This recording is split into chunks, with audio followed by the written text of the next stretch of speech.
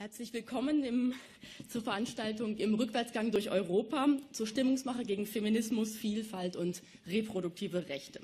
Mein Name ist Christina Schildmann. Ich begrüße Sie alle ganz herzlich im Namen der Friedrich-Ebert-Stiftung, auch im Namen unserer Abteilungsleiterin Luise Rürup und insbesondere im Namen meiner Kollegin Susanne Jawat, ich suche sie ah, dort, die mit mir den Bereich Gender und Familienpolitik zusammen betreut und natürlich Sebastian Scheele, wo sehe ich ihn?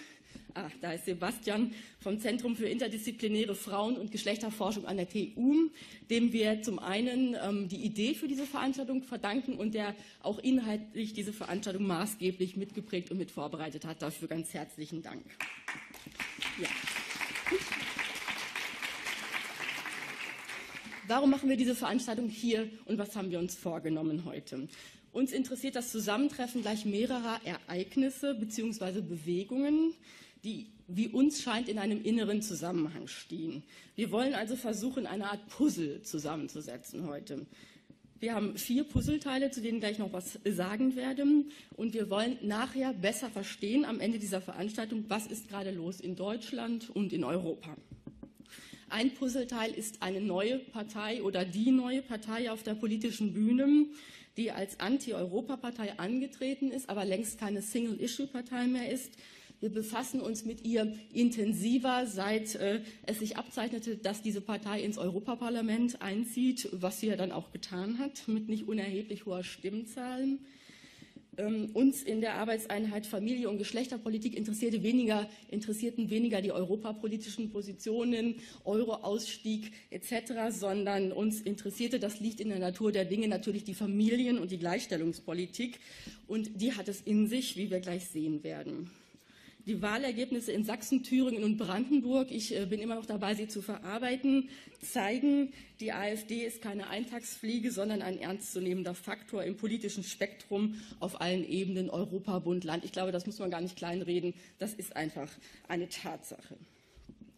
Landtagswahlen gewinnt man nicht mit Europathemen. Das hat die Alternative für Deutschland auch verstanden und äh, darum in den Landtagswahlkämpfen sehr stark auf zwei andere Themen gesetzt, Familienpolitik und Gleichstellung.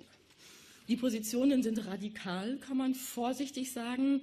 Es wird da die Drei-Kind-Familie beschworen, Gender Mainstreaming wird zur staatlichen Gehirnwäsche erklärt und die Straffreiheit von Schwangerschaftsabbrüchen zur Disposition gestellt. Die programmatische Verschiebung von der AfD, der AfD von der Anti-Europa-Partei zur Anti-Gender-Partei hat für uns der Soziologe Andreas Kemper schon vor der Wahl zum Europäischen Parlament im Auftrag unserer Stiftung in der Studie Keimzelle der Nation herausgearbeitet.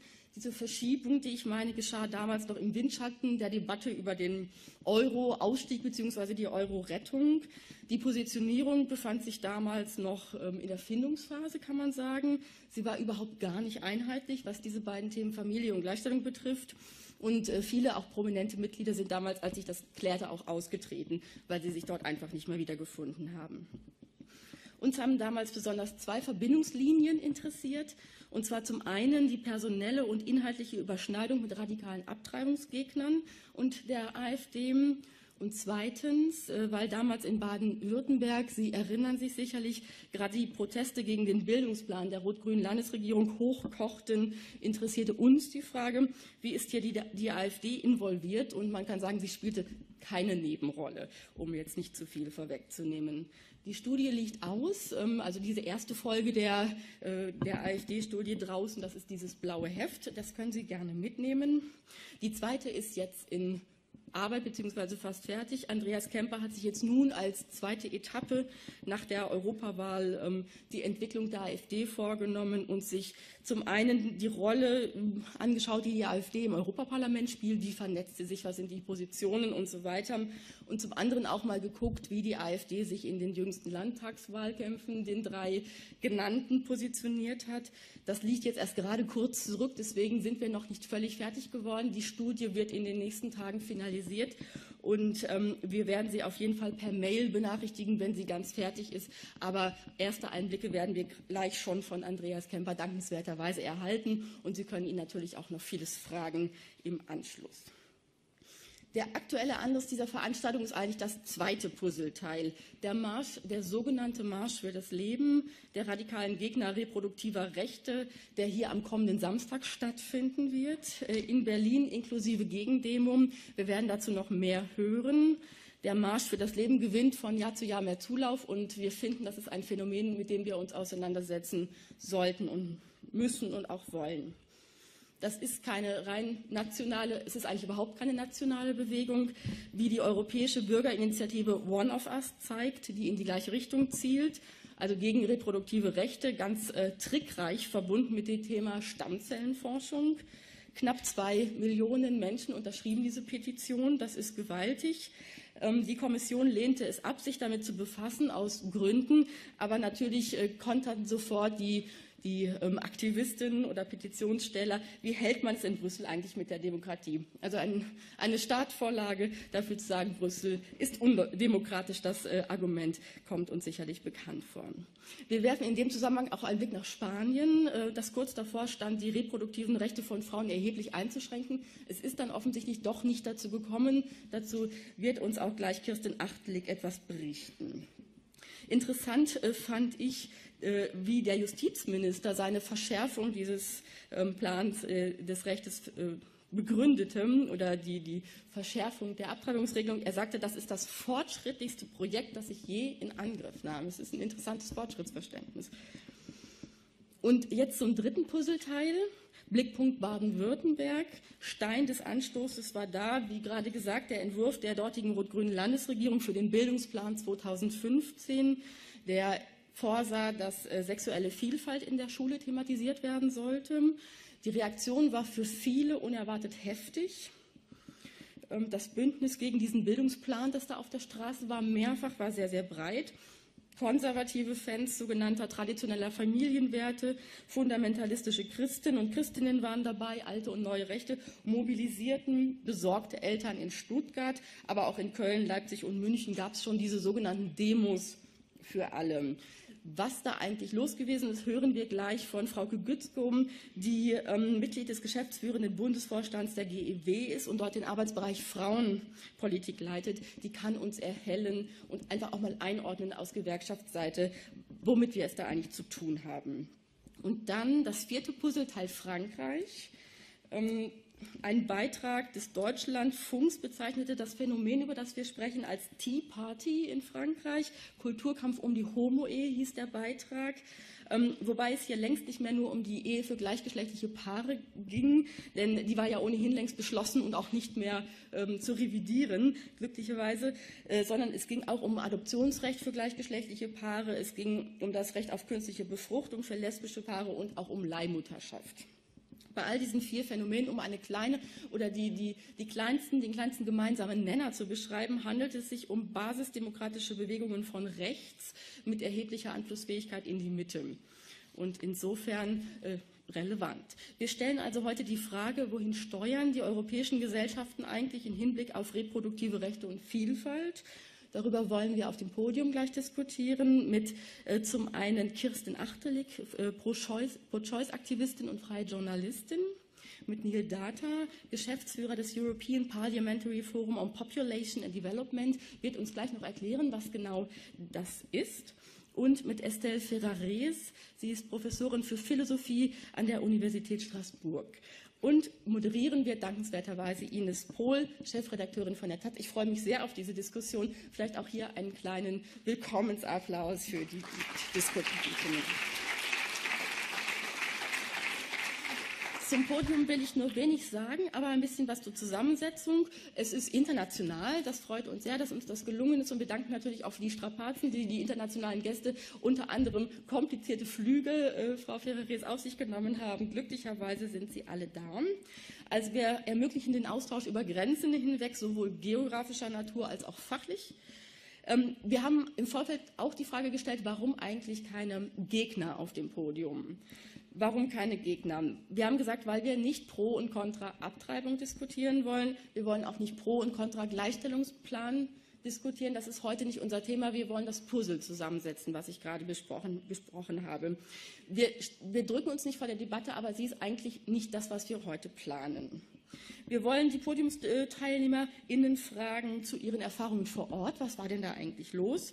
Ähm, wie war so eine starke Mobilisierung überhaupt möglich? Aber auch, was waren die Gegenaktivitäten und wie erfolgreich waren sie oder waren sie erfolgreich? Und warum dieser Hass im Moment auf alles, wo Gender draufsteht? Was ist da los? Warum ist das so virulent? Und warum mobilisieren Themen wie Sexualerziehung, Abtreibung, Familienmodelle zurzeit dermaßen? Das interessiert uns. Wir wollen also wissen, eine Tiefenburg machen, was gärt in unserer Gesellschaft. Ups.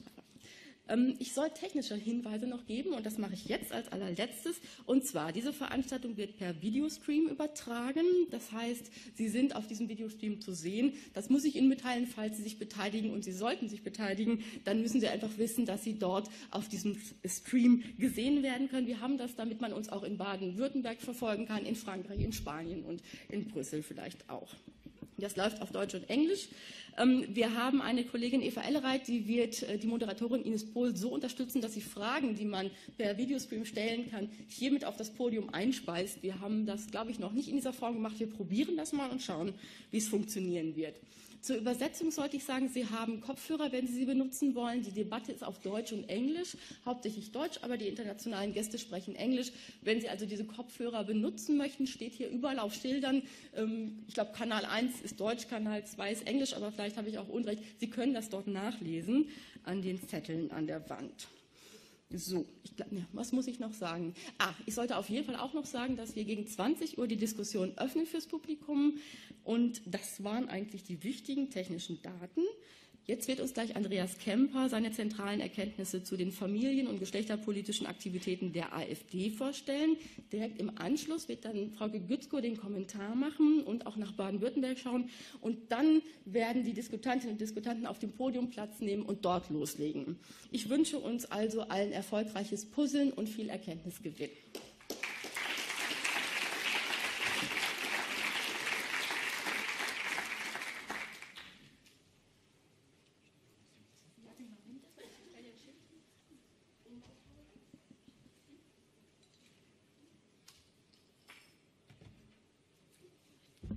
Soll jetzt keine Drohung sein mit dem Wasser.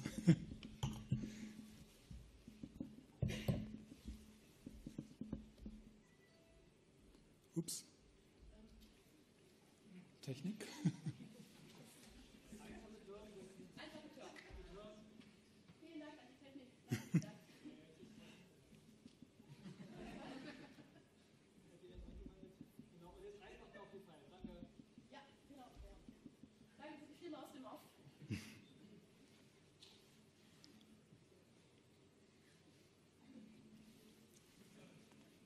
Ja, ich äh, danke für die Einladung. So, ähm, ah, es geht los, okay.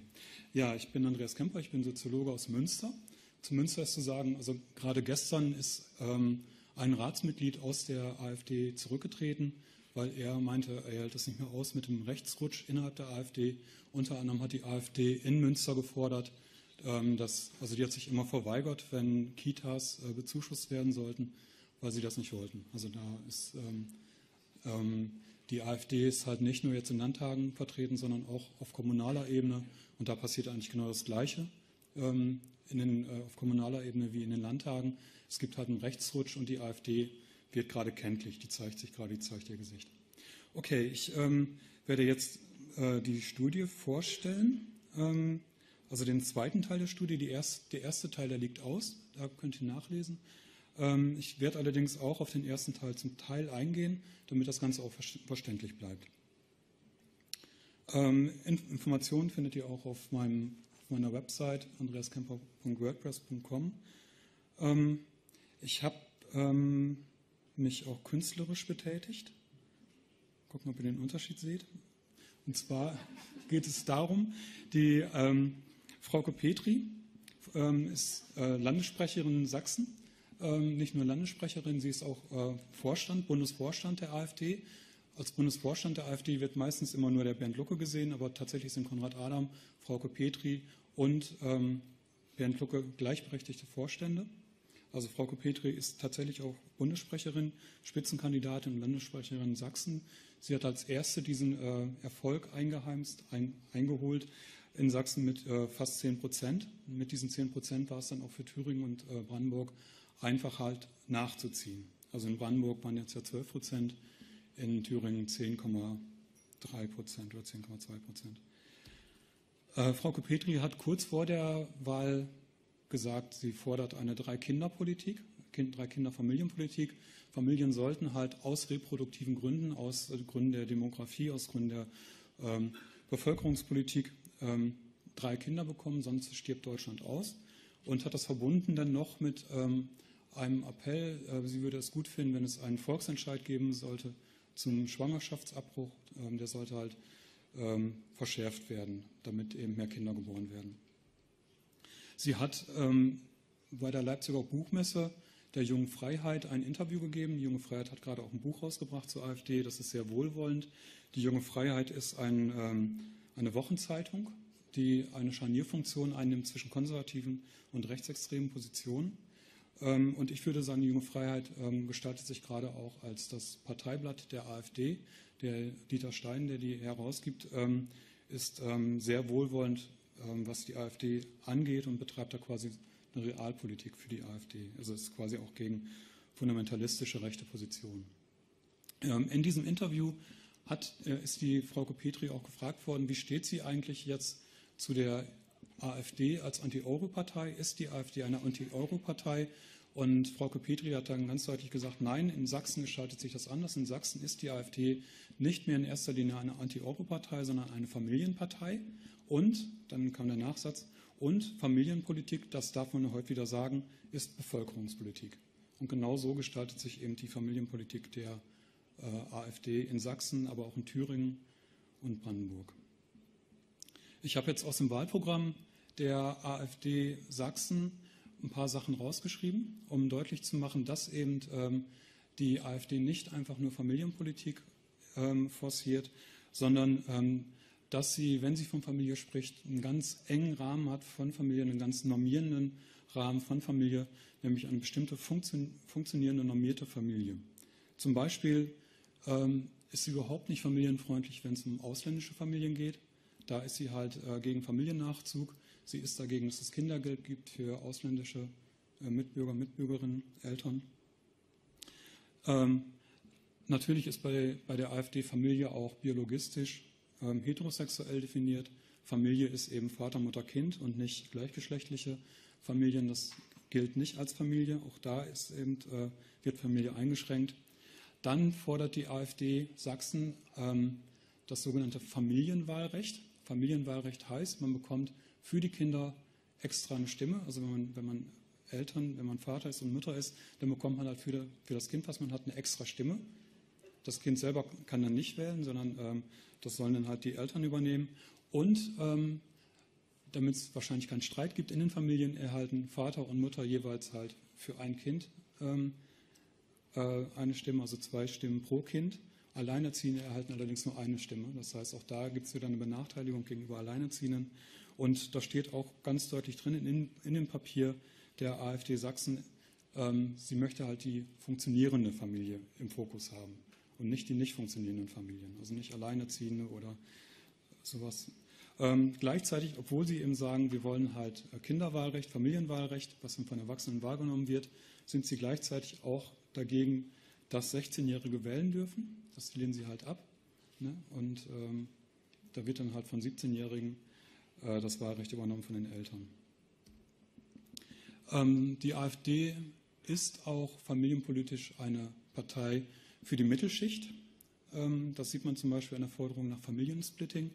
Familiensplitting Splitting sehe ich sehr kritisch, weil Familiensplitting, das heißt, ähm, das Ehegattensplitting soll aufgeteilt werden auf die gesamte Familie, also auch auf Kinder. Das heißt, wenn man halt 10.000 Euro Monatseinkommen hat und man hat äh, drei Kinder, dann äh, wird das durch fünf geteilt, also Frau, Vater äh, und die drei Kinder und dann sind es nur noch 2.000 Euro und das muss man dann versteuern pro Kopf. Das heißt, ähm, davon profitieren vor allen Dingen die Reichen, die gut verdienenden Familien, die schlecht verdienenden Familien oder arbeitslose Familien verdienen, äh, haben da gar nichts vom, vom Familiensplitting. Und es wird äh, zu massiven Steuerausfällen führen. Und gleichzeitig äh, stellt sich die AfD als die Sparerpartei dar. Die wollen eben nicht, dass Schulden gemacht werden. Die Schulden sollen verhindert werden. Das heißt, Familiensplitting würde gleichzeitig auch zum Sozialabbau führen. was dann wiederum äh, ärmere Familien benachteiligen würde. Ähm, ähnlich ist es mit dem Kinderrentenmodell. Das ist überhaupt nicht bekannt. Ähm, das ist eine Forderung von der AfD. Ähm, Kinderrentenmodell ist ein, ähm, eine Idee vom ähm, Bund der katholischen Unternehmer aus den 50er Jahren. Und zwar ist damals diskutiert worden, ähm, eine Kinderrente einzuführen und eine Altersrente einzuführen oder eben ein Kindergeld einzuführen, das einheitlich ist oder ein Altersgeld, was einheitlich ist wenn Menschen halt ausscheiden aus dem, aus dem ähm, Produktionssektor, dass sie dann einheitlichen Geld, Geld, bekommen. Damals ist halt das, die Altersrente eingeführt worden, die Kinderrente ist aber nicht eingeführt worden. Die AfD fordert jetzt, die AfD Sachsen fordert jetzt, dass die Kinderrente jetzt eingeführt wird. Kinderrente heißt, das Kindergeld wird gestrichen und es wird ersetzt durch Kinderrente. Das ist dann einkommensabhängig. Man bekommt dann halt sechs bis acht Prozent vom Einkommen und äh, das muss dann später eingezahlt werden ab dem 35. Lebensjahr und zwar dann von dem aktuellen Einkommen und in Abhängigkeit von der Anzahl der Kinder, die man hat. Wenn man halt ähm, sechs Kinder hat, muss man gar nichts einzahlen. Wenn man keine Kinder hat, muss man das Doppelte einzahlen. Auch das ist halt wieder, ähm, weil es eben ungleichgewichtig ist, weil eben nicht, äh, Kindergeld kriegen ja alle gleichmäßig und Kinderrente würden dann auch wieder, die Reichen würden mehr bekommen. Also auch da wieder eine Benachteiligung von ärmeren Familien und eine Bevorteilung von gut verdienenden Familien. Zum Schluss dann noch der Punkt, ähm, die Familienpolitik äh, ähm, ist auch gedacht als äh, Bildungspolitik. Die AfD fordert, dass äh, Erziehungsrecht Elternrecht ist, dass eben ähm, Bildung sehr viel stärker in die Familie zurückgeholt wird. Das gilt dann allerdings nicht für, schwierigere Familien. sie fordern nämlich eine stärkere Disziplinierung an Schulen. Und Mehr steht da nicht im Programm. Allerdings ist letztens halt, sind letztens ähm, Papiere bekannt geworden, unfreiwillig ähm, der AfD Sachsen. Und da gab es ein Papier, das nannte sich ähm, Kernforderung der AG Familie, Bildung, Hochschule, Wissenschaft. Da hat auch Frau Kopetri mitgemacht. Das ist jetzt kein offizielles Papier, sondern intern. Aber da kann man sich ungefähr vorstellen, was unter Disziplinierung gemeint ist. Und zwar soll es halt ein Leitbild geben und die ähm, Schüler, die diesem Leitbild nicht entsprechen, die müssen dann halt äh, extra Verhaltens, äh, eine Verhaltenserziehung bekommen, Benimmkurse besuchen. Diese Benimmkurse müssen von den Eltern bezahlt werden. Das ist halt eine Nacherziehung. Die Eltern äh, wenn, haben ja einen Fehler gemacht, weil sie, wenn sie ihre Kinder nicht erziehen. Diese Nacherziehung äh, muss dann halt bezahlt werden. Wenn halt Geringverdiener oder Arbeitslose das nicht können, dann müssen, dann werden sie eben zu Zwangsarbeit an Schulen verdonnert. So. Die Kinder, wenn die halt bei den Benimmkursen sich nicht benehmen, dann äh, wird äh, Jugendadress angedroht, entweder halt äh, für ein Wochenende oder bis zu vier Wochen. Das wird dann angedroht, aber auch prompt umgesetzt. Beide Punkte sind ein Beitrag zur Neuvernetzung einer zunehmend beziehungslosen, ja atomisierten Gesellschaft. Ja, das heißt, ähm, die AfD ist da sehr gespalten. Wenn sie halt sagt, wir sind für die Familie, wir sind halt für, ähm, dafür, dass die Familie über Bildung bestimmt, dann meint sie einen ganz engen Fokus von Familie, nämlich die deutsche, äh, funktionierende, gut verdienende, heterosexuelle Mittelschichtsfamilie. Äh, und natürlich auch nicht alleinerziehende. Okay, ich habe jetzt noch zwei Punkte aus dem Landeswahlprogramm in Sachsen und Thüringen. Also Thüringen ist ähnlich aufgestellt, um auch zu zeigen, mit welcher Sprache das Ganze benannt wird. Das heißt, in, ähm, im Landeswahlprogramm Sachsen, ich lese das mal vor, Lehr- und Lehrbuchinhalte haben sich an der, Lebenswelt, an der Lebenswelt von Mehrheiten zu orientieren, nicht an der von Minderheiten. Gesellschaftspolitische Umerziehungsmaßnahmen wie Gender Mainstreaming lehnen wir ebenso ab wie scheinbar geschlechtsneutrale Bezeichnungen zu Fußgehende statt Fußgänger oder Lehrkraft statt Lehrer. Damit wird ideologisch motiviert das grammatische Geschlecht mit dem biologischen gleichgestellt. Insbesondere ist einer indoktrinären Beeinflussung von Kindern und Jugendlichen durch LGBT, also äh, lesbien, gay, bisexuell, transsexuell, Lehrplaninhalten entgegenzuwirken. Also nicht nur zu stoppen, sondern entgegenzuwirken. Ähnlich stellt sich das dar Landeswahlprogramm Thüringen. Die Familienpolitik des Landes und der Länder muss einem einheitlichen Konzept folgen, das sich an der Familie aus Vater, Mutter und Kindern unter Einfluss der älteren Generation orientiert. Versuchen mit Hilfe der Genderideologie den Sinn des Wortes Familie in Artikel 6 Absatz 1 des Grundgesetzes auf andere Gemeinschaften auszudehnen und der Familie auf dem, auf diesem Weg dem besonderen Schutz der staatlichen Ordnung zu entziehen ist, ist entgegenzutreten. Auch hier wieder ist entgegenzutreten.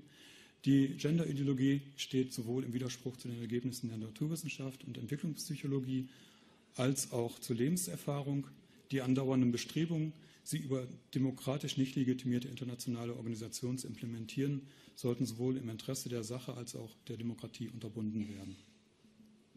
Schön sind da dann auch die, oder eher unschön sind dann auch die Zitate von Björn Höcke, AfD-Sprecher aus Thüringen. Dazu ist zu sagen, in Thüringen wurde gerade Michael Wohlfahrt ähm, abgesägt, weil er zu radikal war. An seiner Stelle ist äh, Björn Höcke gekommen.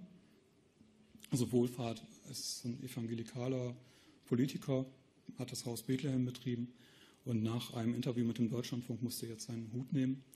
Ähm, Björn Höcke ist jetzt an seiner Stelle getreten und Björn Höcke sagt, ähm, schädliche, teure, steuerfinanzierte Gesellschaftsexperimente, die der Abschaffung der natürlichen Geschlechterordnung dienen, sogenannte Gender Mainstreaming, sind sofort zu beenden. Die klassische äh, Familie ist wieder zum gesellschaftlichen Leitbild zu erheben. Und zur demografischen Katastrophe, die es seiner Meinung nach gibt. Deutschland schafft sich ab, also in Anlehnung an Thilo Sarrazin. Also Thilo Sarrazin kommt immer wieder vor im, im Kontext. Um dieser fürchterlichen Entwicklung Einhalt zu gebieten, proklamieren wir im Gegensatz zu allen etablierten Parteien ein klares Ja zur klassischen Familie und zum Kind. Jede weitere Auflösung dieser Keimzelle unseres Volkes treten wir energisch entgegen. Dem Konzept des sogenannten Gender Mainstreaming, Gender Mainstreaming einem Sonntagskind der Dekadenz, das auf die Auflösung der natürlichen Geschlechterordnung abzielt, haben wir dem Kampf angesagt. Das Interview fand statt in der Blauen Narzisse. Die Blaue Narzisse ist äh, eine neurechte ähm, Neurechtes Internetmagazin. Also auch von der Sprache her ist das äh, sehr weit rechts einzuordnen. Ähm, ich habe da jetzt ein Zwischenfazit. Also die AfD propagiert eine familienfeindliche, wenn man halt Familie weiterfasst, eine familienfeindliche, normative und disziplinierende Bevölkerungspolitik im Interesse privilegierter, besser verdiener Milieus. Also die was sie vor sich hertragen, wir sind familienfreundlich, das stimmt eben nicht, wenn man Familie ein bisschen weiter fasst. Gut, ähm, das ist jetzt ganz aktuell. Ähm, das ist die Homepage der Alternative für Deutschland Niedersachsen. Also wir müssen gar nicht bei Brandenburg und äh, Thüringen, Sachsen bleiben. Es gibt diesen Rechtsrutsch, den gibt es überall, den gibt es halt auch in, in Nordrhein-Westfalen, wo ich herkomme. Da sind auch die Liberalen sind da komplett äh, raus katapultiert worden. In Niedersachsen, ähm, die berichten häufiger auch über ähm, Sachen aus dem Europaparlament. Und äh, Ulrike Lunacek, die ist von den Grünen aus Österreich, ist auch ähm, ähm im Europäischen Parlament, Vizepräsidentin des EU-Parlaments. Die hat äh, Conchita Wurst eingeladen. Conchita Wurst sagt den meisten wahrscheinlich was, ist eine transsexuell, äh, transsexuelle Künstlerin, die den ähm, ähm, äh, Schlagerwettbewerb hier in Europa gewonnen hat. Und ähm, sie soll da spielen und Frau, Frauke Petri hat sich direkt dagegen gewandt. Das war jetzt vor zwei Tagen. Sie hat gesagt, äh, äh, das geht nicht, dass äh, Conchita Wurst da einen Auftritt hat. Das kostet viel zu viel Geld. Außerdem werden halt äh, Christen verfolgt in Syrien und, Irak und das sollte eigentlich Thema sein und nicht irgendein so Spektakel. Frauke Petri, äh, nicht Frauke Petri, Beatrix von Storch ähm, ist meiner Meinung nach äh, eine Drahtzieherin ähm, von äh, den ganzen Kampagnen, die wir gerade haben. Ähm, sie hat vor ein paar Jahren das Kampagnennetzwerk Zivile Koalition aufgebaut. Das ist ein Kampagnennetzwerk, die arbeiten halt mit ähm, einem äh, rechtspopulistischen Adressenhändler zusammen, hatten von Anfang an 50.000 zielgenaue konservative Adressen und arbeiten mit Spam-Mails. Ähm, und betreiben halt eine ganze Reihe von Webseiten. Zum Beispiel Freie Weltnet, das ist so ein Magazin, das ist ein Online-Magazin, wo sehr viel konservative, aber auch neoliberale Texte gepostet werden. Dann Bürgerkonvent, das kommt ursprünglich nicht von Beatrix von Storch, aber inzwischen ist das halt von der zivilen Koalition geschluckt worden. Das ist ähm, eine neoliberale Webseite, macht Vera Lengsfeld auch mit, die gehört quasi auch zu dem ganzen Umfeld, wobei Vera Lengsfeld, soweit ich weiß, noch Mitglied in der CDU ist familienschutz.de. Das ist auch eine Website halt von dem Kampagnennetzwerk ähm, von, von ähm, Hedwig von Beverförde. Hedwig von Beverförde hat zusammen mit Birgit Kelle die Seite Demo für alle aufgebaut. Demo für alle ist eben das Motiv aus Frankreich. Da ist eben damals wurde halt äh, von der Regierung Die Ehe für alle sollte eingeführt werden. Und dagegen gab es diese ähm, ähm, Demonstrationen, die sich dann Demo für alle genannten. Und das ist quasi jetzt, das waren die großen homophoben Demonstrationen in Frankreich. Und die sollen jetzt ähm, importiert werden, auch nach Deutschland und äh, nennen sich dann auch Demo für alle. Die finden jetzt auch in Stuttgart statt und äh, werden organisiert von Hedwig von Beverförde und von Birgit Kelle über diese Seite Demo für alle. Und im, im Impressum findet man dann wieder die zivile Koalition, die das Ganze dann im Hintergrund managt. Dann gibt es noch Abgeordnetencheck und jetzt neue EU-Check. Das sind Seiten, ähm, da gibt es so Eingabemasken und da kann man dann mit so einer Eingabemaske direkt Abgeordnete aus dem Bundesparlament oder jetzt auch aus dem äh, Europäischen Parlament ähm, äh, E-Mails schreiben. Und ähm, es wird da auch direkt äh, gezeigt, wer ist böse, wer ist gut. Es gibt Befürworter und Gegner, es gibt äh, Blockierer. Und ähm, mit diesen Seiten ähm, generieren die dann auch äh, diese Massenspam-Mails. Man muss einfach nur reinklicken und schon geht die Mail los. Äh, eine Seite habe ich vergessen, also es gibt noch viel mehr Seiten, es sind über ein Dutzend Seiten. Äh, die werden auch alle betrieben, das ist nicht fake, also sie werden tatsächlich betrieben. Die haben eine ganze Reihe von Mitarbeitern, die die dann auch bestücken und betreiben. Ähm, eine Seite habe ich vergessen, äh, die heißt ähm, äh, Eins von uns. Das ist halt die deutsche Koordinationsseite der äh, Europäischen Bürgerinitiative One for Us und die wird eben auch betrieben von der zivilen Koalition. Also Beatrix von Storch und ihr Mann äh, Sven von Storch, die stecken quasi hinter den ganzen Kampagnen. Ähm, zu den Kampagnen Marsch für das Leben, das haben wir jetzt ja am Samstag, da wird ja gleich auch noch was zu erzählt werden. Ähm, beim letzten Marsch für das Leben, ähm, Blick, beim letzten Marsch für das Leben, das kann man hier sehen, äh, ist, Frau, ist ähm, Beatrix von Storch in der ersten Reihe mitgelaufen. Dann äh, die Europäische Bürgerinitiative One for Us, die 1,74 Millionen Unterschriften gesammelt hat innerhalb von etwas mehr als einem Jahr. Das ist eine sehr erfolgreiche Bürgerinitiative gewesen, die sich letztlich auch gegen äh, Schwangerschaftsabbrüche richtet. Dann Demo für alle, da habe ich ja gerade schon was zu erzählt. Ähm, ähm, die Kampagne von der zivilen Koalition richtet sich auch gegen den Estrela-Bericht. Zum Estrela-Bericht ähm, kurz. Es gab 2002 im Europäischen Parlament einen Bericht zu sexueller und reproduktiver Gesundheit und den damit verbundenen Rechten. Ähm, da ging es halt darum, dass eben Abtreibung nicht verfolgt werden soll. Und ähm, nach der Osterweiterung der EU ist überlegt worden, jetzt nach zehn Jahren den Bericht äh, zu erneuern. Das äh, dann, sollte Edith Estrela machen und äh, deswegen nennt sich das Estrela-Bericht. Und ähm, in dem Estrela-Bericht gab es Forderungen, unter anderem keine Strafverfolgung von Frauen, die illegal abgetrieben haben. Es hat vor ein paar Jahren beim ersten Bericht in Portugal große Demonstrationen gegeben und in Spanien. Ähm, und jetzt wird eher skandalisiert eine zweite, eine zweite Forderung aus dem Estrela-Bericht, nämlich einen Aufruf an die Mitgliedstaaten, eine umfassende Sexualpädagogik einschließlich Maßnahmen zum Kampf gegen Stereotype und alle Formen der geschlechtsbasierten Gewalt zu fördern, die außerdem eine positive Sicht auf homo- und intersexuelle Menschen beinhaltet. Also die ähm, beiden Forderungen, die haben zu einem Proteststurm geführt gegen den Estrela-Bericht. Also die Edith Estrela hat äh, berichtet, dass sie innerhalb weniger Tage über 40.000 E-Mails, Spam-Mails bekommen hat. Auch ähm, Abgeordnete aus Deutschland, die halt für den Estrela-Bericht waren, haben auch eine ganze Reihe von Spam-Mails bekommen. Und tatsächlich wurde halt der Bericht zurückgewiesen, wurde zum ersten Mal zurückgewiesen, dann wurde der quasi entschärft, in Anführungszeichen. Es wurden halt äh, Forderungen rausgenommen, aber auch in der entschärften Position wurde er halt abgelehnt. Und das hat Beatrix von Storch auf ihrer äh, Facebook-Seite auch direkt gefeiert. Estrella goes home. Wir haben den Bericht gestoppt. Das Europaparlament hat es dann doch mit knapper Mehrheit abgelehnt, tabulose interaktive Sexualausbildung ab der Grundschule zu fordern, für 0- bis 4-Jährige Masturbationslerneinheiten zu fordern und das Recht auf Abtreibung als europäisches Menschenrecht einzuführen. Yeah, so geht Widerstand. Danke an alle, die mit uns gestern in Straßburg wieder demonstrierten, Briefe, Schnuller und Kondome verteilten und den ganzen Laden da in Schwung gebracht haben. Das heißt, die arbeiten auch mit einer sehr starken Übertreibung also was da drin steht, ähm, Masturbationseinheiten für Nulljährige ähm, gibt es halt nicht, ne? auch nicht für Vierjährige. Ähm, das sind halt, äh, mit diesen Übertreibungen wird gearbeitet und ähm, auch mit Erfolg, wie sich gezeigt hat. Und eben, äh, er hat ja auch von Demonstrationen erzählt, also die machen nicht nur Spam-Mails, sondern die haben tatsächlich auch in Straßburg mehrfach demonstriert. Sie haben auch versucht, den Lunacek-Bericht ähm, zu verhindern. Gesagt, Ulrike Lunacek ist von den Grünen aus äh, Österreich und ähm, Ulrike Lunacek hat einen Bericht verfasst. Ähm, das, sollte ein, das ist ein Fahrplan gegen Homophobie in Europa.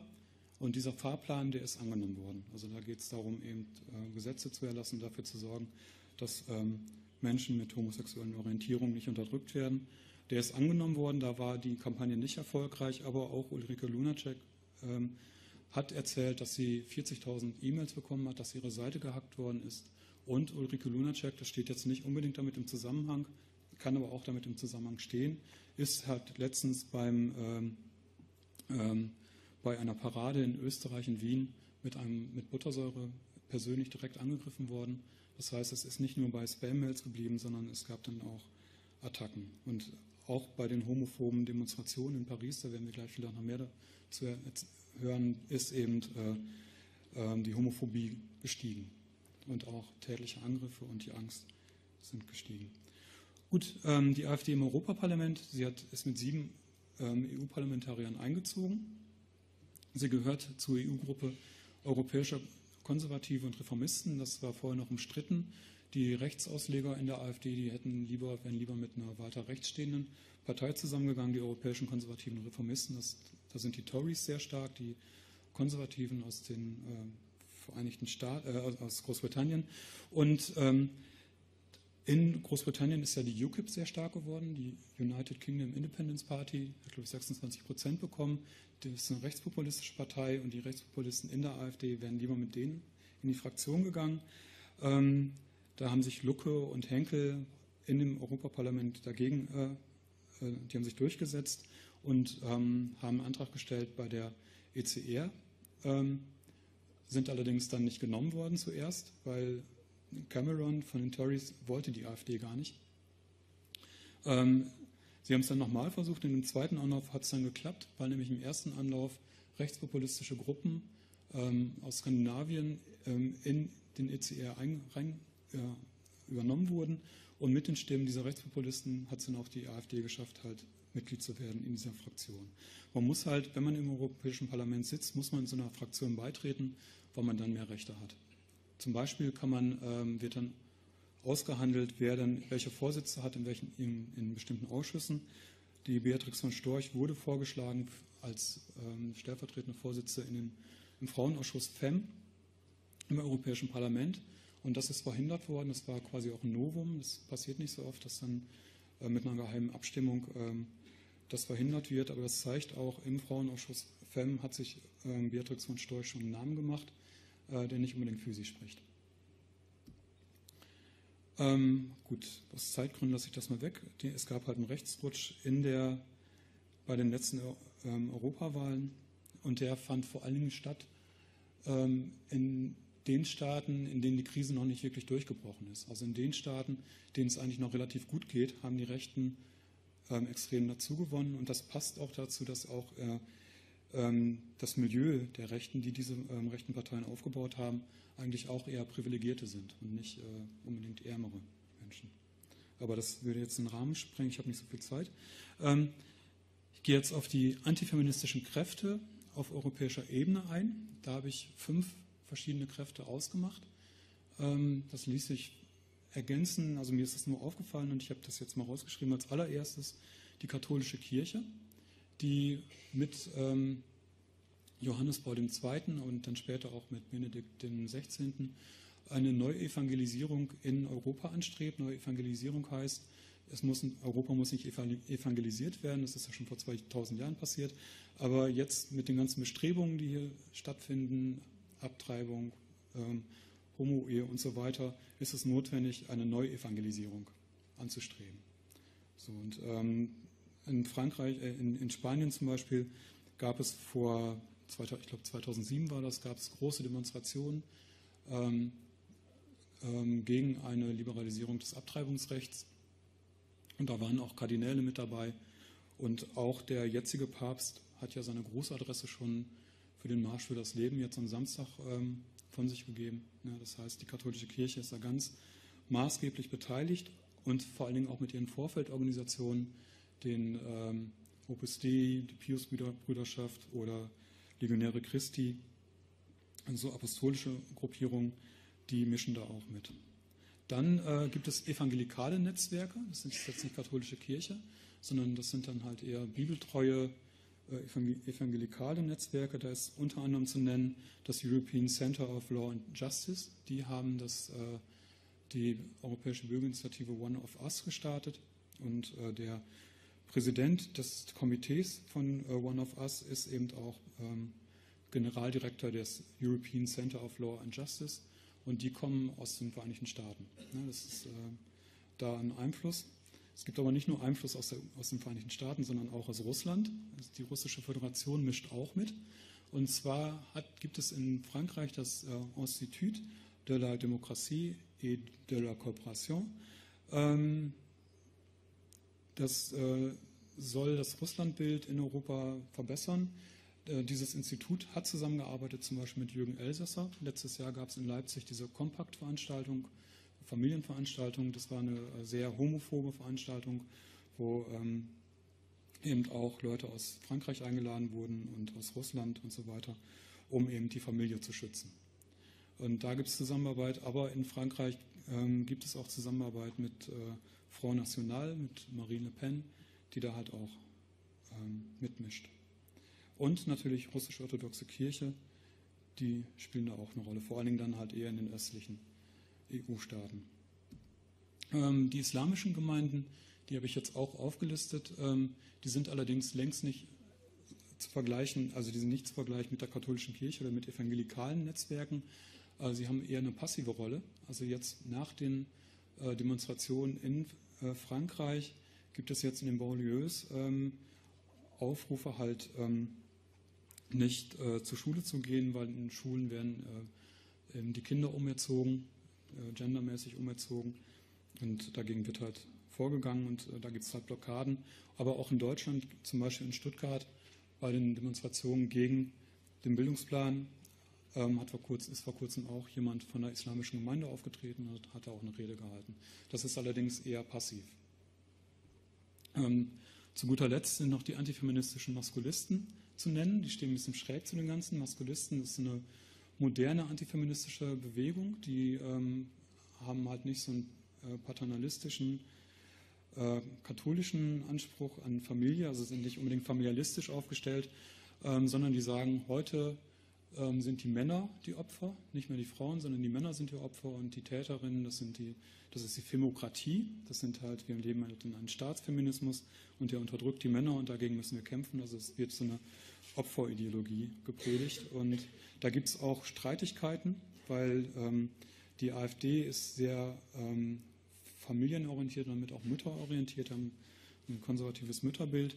Und die antifeministischen Maskulisten sind halt eher gegen Mütter. Also die sind halt, äh, also das lässt sich halt, äh, sind, äh, da gibt es halt Streitigkeiten wo die sich dann allerdings ähm, einigen, das ist ähm, der Antifeminismus. Sobald es gegen Antifeminismus gibt und dennoch gegen so einen verkürzten Antifeminismus, wenn von Ali Schwarzer die Rede ist, dann sind sich alle einig. Und äh, ähm, ein wichtiger Maskulist, der sich vielleicht gar nicht selber so sieht, das ist Akif Pirinci, ähm, ein Katzenbuchautor, Katzenkrimi-Autor, der ähm, letztens halt ganz massiv äh, gegen äh, eine Wissenschaftler, Wissenschaftlerin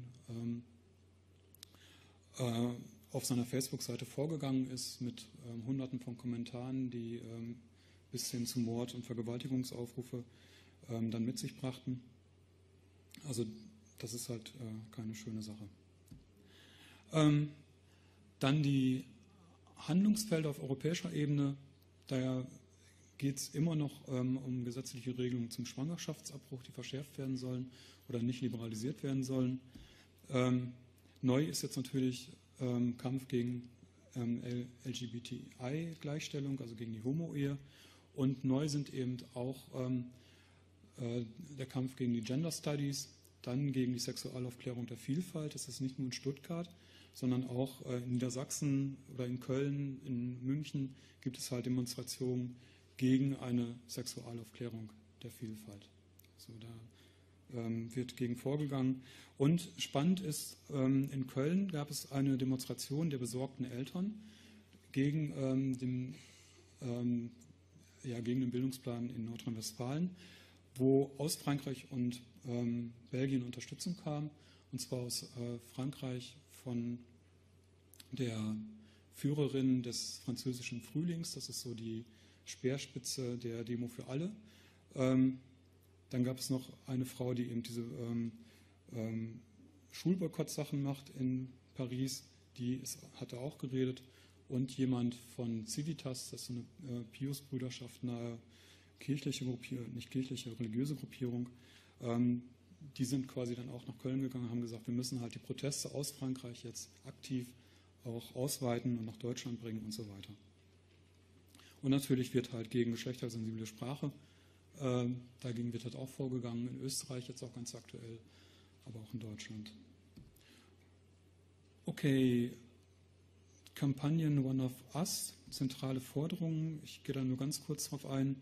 Ähm, die haben die Embryonen in den Mittelpunkt gestellt, haben gesagt, die Embryonen sind, äh, dürfen nicht verletzt werden, auf gar keinen Fall, also auch schon am ersten Tag nicht. Ähm, da darf es keine Haushaltsmittel geben. Ähm, Forschung, alles was mit Forschung zu tun hat, wo Embryonen verletzt werden könnten, ähm, dürfen halt nicht äh, getätigt werden. Und ganz wichtig, Entwicklungshilfe muss auch gestoppt werden, sobald irgendeine Organisation, ähm, die von der Entwicklungshilfe profitiert oder die irgendwas mit der Entwicklungshilfe zu tun hat, wenn eine dieser Organisationen ähm, irgendwas mit Abtreibung zu tun hat oder Abtreibung fördert. Ne, das heißt, okay. Ähm, ja, One of Us, ganz kurz noch jetzt die ähm, paar Sachen. Hier hatte ich allerdings auch schon Präsident von One of Us, ist äh, gleichzeitig Generaldirektor von European Center of Law and Justice. In Deutschland Hedwig von Beverförde, Familienschutz.de und Zivile Koalition. Die ist übrigens Christin des Jahres geworden von IDEA, ähm, weil sie eben so erfolgreich gegen den Estrela-Bericht gekämpft hat und äh, für One of Us gekämpft hat. Und sie haben 1,747 Millionen Unterschriften bekommen. Und ich bin jetzt auch durch. Okay, danke.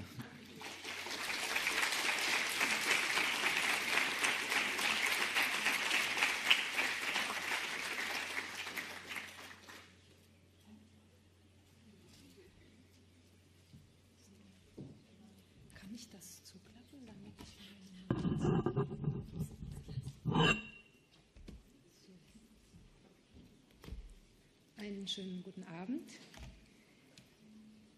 Christina Schiffmann hat mich schon vorgestellt. Ich möchte mich ganz herzlich bei ihr für die Einladung bedanken und auch für die Arbeit, die das Forum Politik und Gesellschaft der Friedrich-Ebert-Stiftung leistet und auch immer wieder Vernetzungsmöglichkeiten wie diese bietet.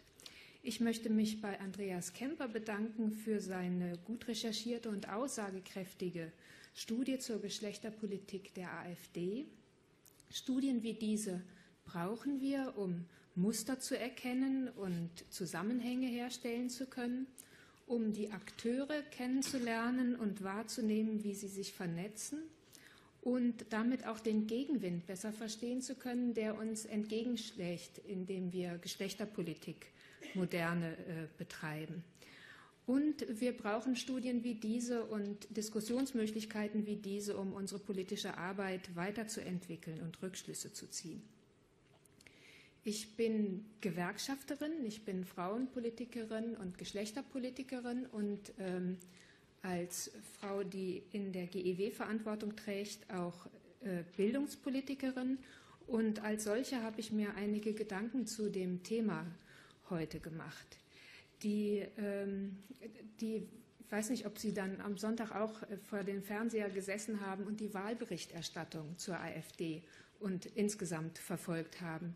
Mir fiel auf, dass das, was uns hier beschäftigt, nämlich dass diese Partei äh, gesellschaftliche Reformprojekte torpediert, überhaupt nicht vorkam. Da gibt es anscheinend große ähm, Berührungsängste äh, oder vielleicht hängt es damit zusammen, dass die dieses, es wird ja wohl mal gesagt werden müssen, da auch reinspielt. Jedenfalls wurde bei, mit Blick auf die AfD über ihr reaktionäres Familienbild und Frauenbild überhaupt nicht gesprochen. Und äh, Wahlprogramme wie die, die ähm, Thomas Kemper vorgestellt hat, torpedieren wichtige gesellschaftliche und gewerkschaftliche Reformprojekte. Ob es um die Entgeltgleichheit für Männer und Frauen geht, ob es um die Ver Möglichkeit der Vereinbarkeit von Familie und Beruf geht, auch ganz zentrale äh, politische Felder, oder um die Emanzipation schlechthin, äh, nicht nur in Bezug auf LSBTI. Das sind äh, Themen, die durch Parteien wie diese torpediert werden. Und was mir auch wichtig ist, ist äh, mit Blick auf diese sogenannten familienpolitischen Programme. Darum geht es offensichtlich nicht. Es geht vielmehr darum, Hierarchien aufrechtzuerhalten in der Gesellschaft, die zwischen Männern und Frauen, zwischen Heterosexuellen und den anderen, zwischen der Mittelschicht und der Unterschicht, zwischen Deutschen und Ausländern, ähm, zwischen der richtigen Wissenschaft und der falschen, nämlich die, die auf emanzipatorische Ansätze zielt, zwischen der Drei-Kind-Politik und der Selbstbestimmung. Und äh, das sind ziemlich erschreckende Tendenzen, äh, mit denen wir uns da befassen müssen. Ähm, LSBTI ist ein, ein zentrales gewerkschaftliches Thema. Es geht dabei natürlich auch um die Kolleginnen und Kollegen, die sich diesen sexuellen Orientierungen, die diese sexuellen Orientierungen leben.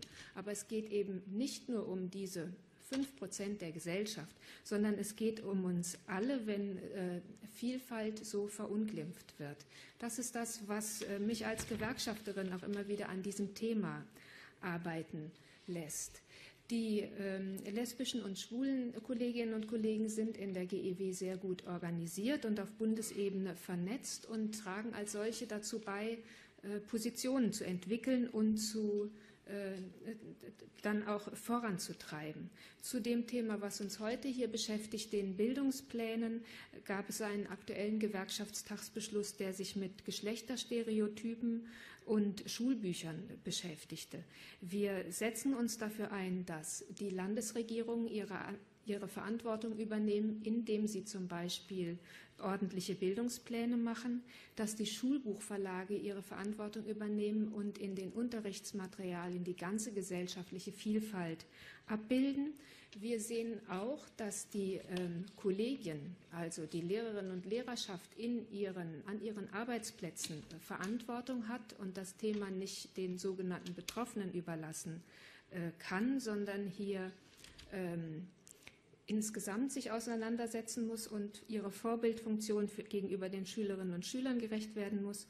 Und wir sehen es als notwendig an, dass Geschlechterkompetenz ein wichtiger Inhalt in der Lehrerinnenaus- äh, und Fortbildung wird.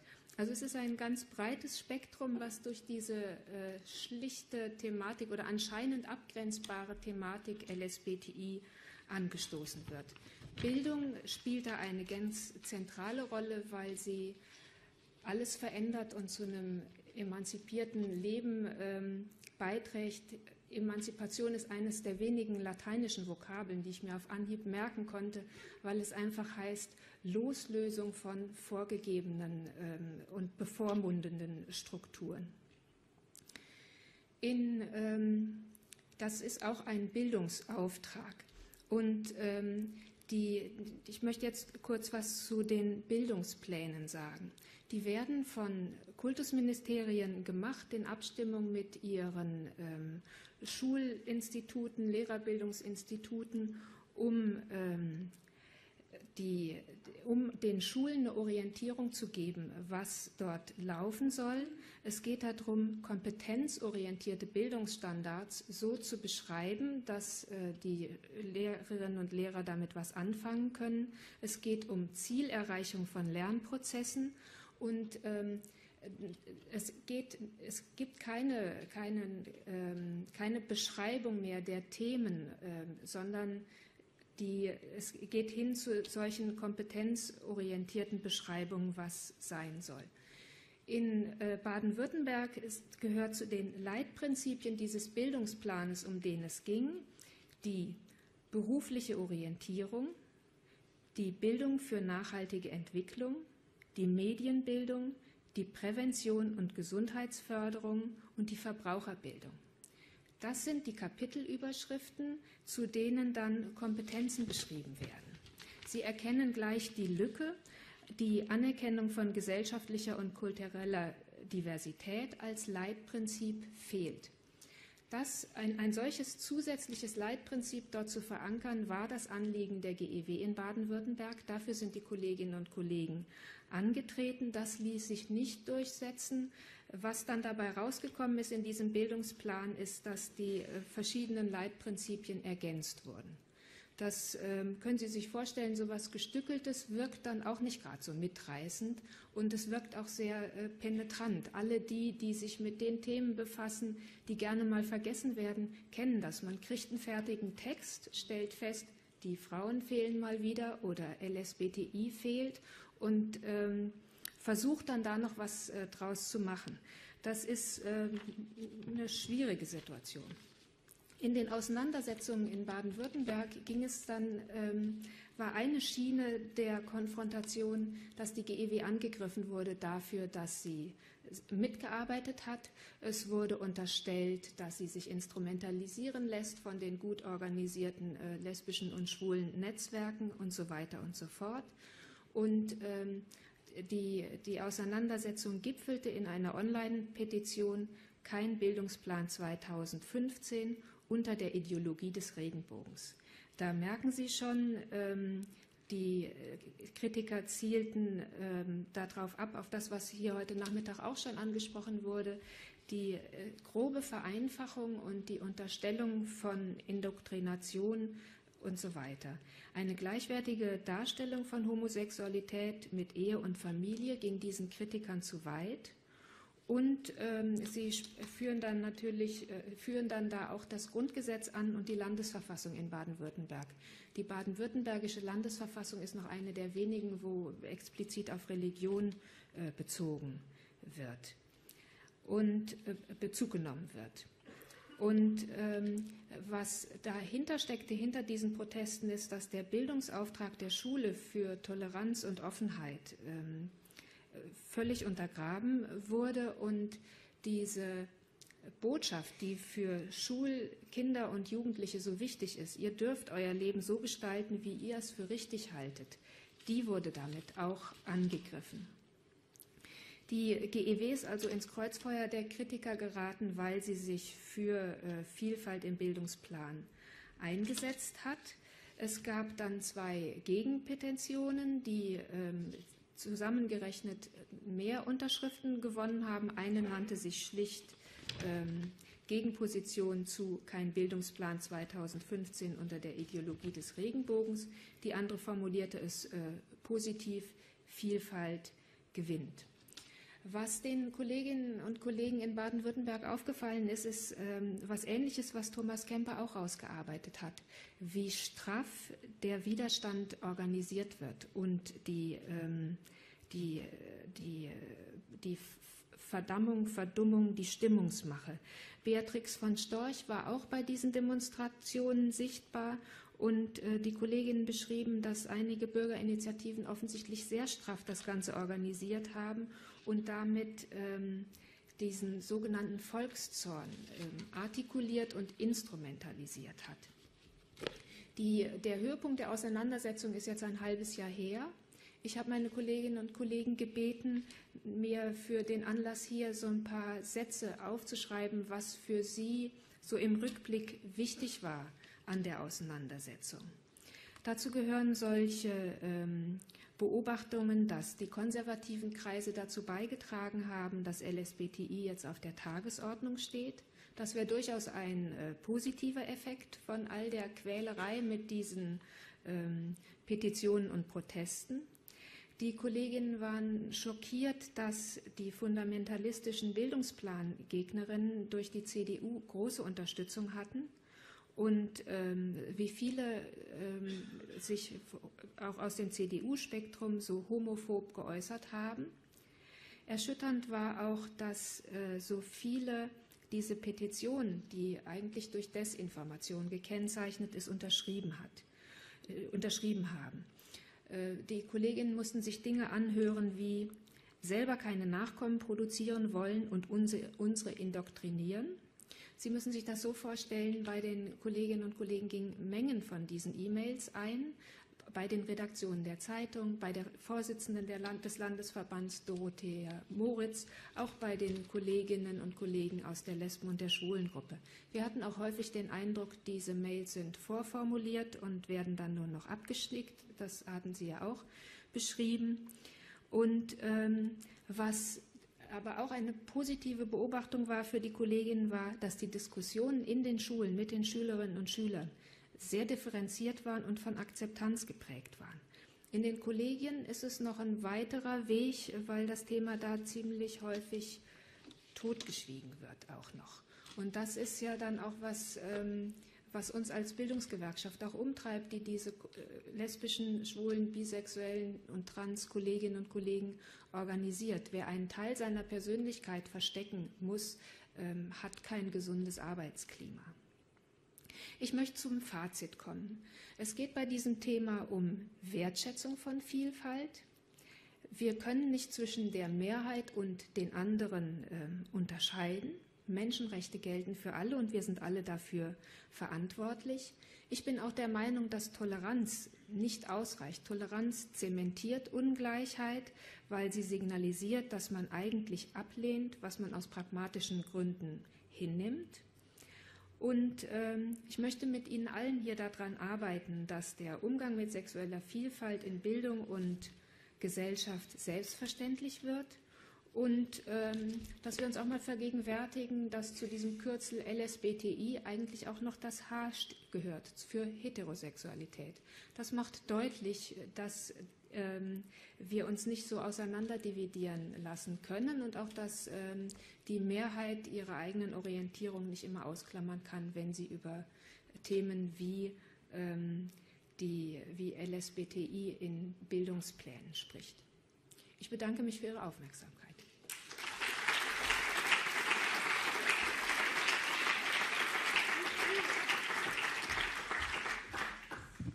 Ja, einen schönen guten Abend. Was man in der Friedrich-Ebert-Stiftung nicht alles lernen kann, zum Beispiel auch, dass es eine Christin des Jahres gibt. Vielen Dank, Andreas Kemper, nicht Thomas.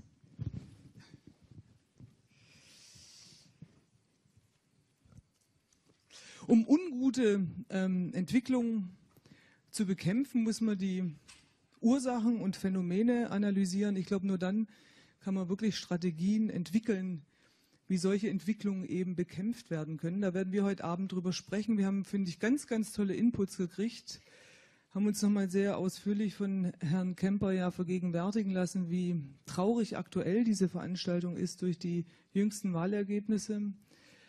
Ähm, ich stelle Ihnen noch mal ganz, ganz kurz das Podium vor, damit wir möglichst viel Zeit haben, hier vorne miteinander zu diskutieren und dann auch mit Ihnen äh, Frau Schildmann hat es gesagt, zum um 8 herum wollen wir die ähm, Diskussion sozusagen öffnen, damit Sie und unsere weltweiten virtuellen Zuhörerinnen und Zuhörer und Zuschauerinnen ähm, sich auch beteiligen können.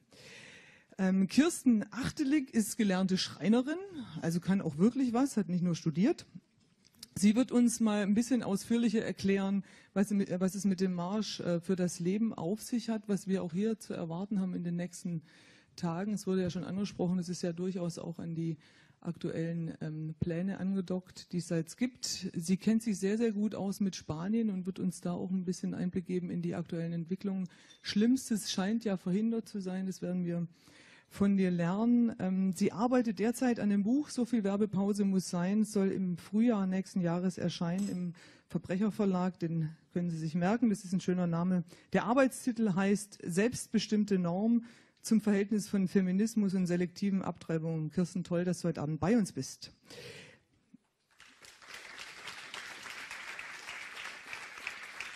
Neil Data wird Englisch sprechen, ähm, wird uns einiges zu sagen haben, was, es, äh, was sich derzeit im Europäischen Parlament abspielt. Das ist natürlich sehr interessant, der Frage nachzugehen, klar, welche Organisationen es da gibt, welche Entwicklungen. Aber ich finde es immer wichtig, wenn wir politisch diskutieren, nie die Fragen auszusperren, wie diese Sachen eigentlich finanziert werden. Und da muss man sicher, es wurde auch angerissen, sich die USA mal anschauen, die russische Föderation anschauen. Aber ich finde die Frage schon auch interessant, inwieweit die neuen Mitglieder welche Positionen forcieren und dann eben auch von wem finanziert. Spannend auch, Neil Data hat fünf Staatsangehörigkeiten. Die deutsche ist natürlich nicht dabei. Ähm, Estelle, herzlich willkommen. Toll, dass du da bist.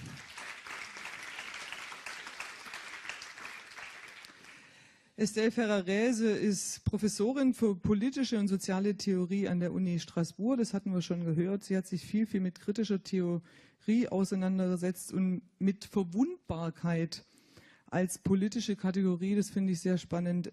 Estelle, ähm, Sie kommen aus dem Land der französischen Revolution. Wie konnte es sein, dass in so einem säkulären Land solche Massen auf die Straße gehen, um gegen sexuelle Vielfalt und alles, was da dran hängt, zu demonstrieren.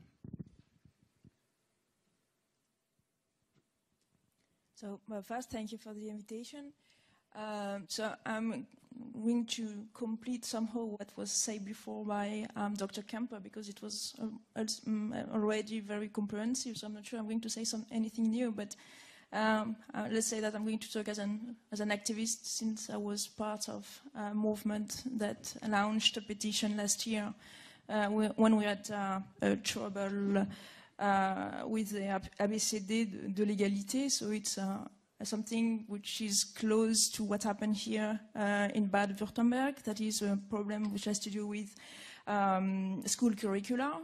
Uh, so it was a program, very light, small program uh, that was supposed to be used in uh, uh elementary schools uh, that would defend sexual, that would not defend, but just explain to uh, the kids what is sexual diversity and um, gender, more or less. And we had huge demonstrations against that.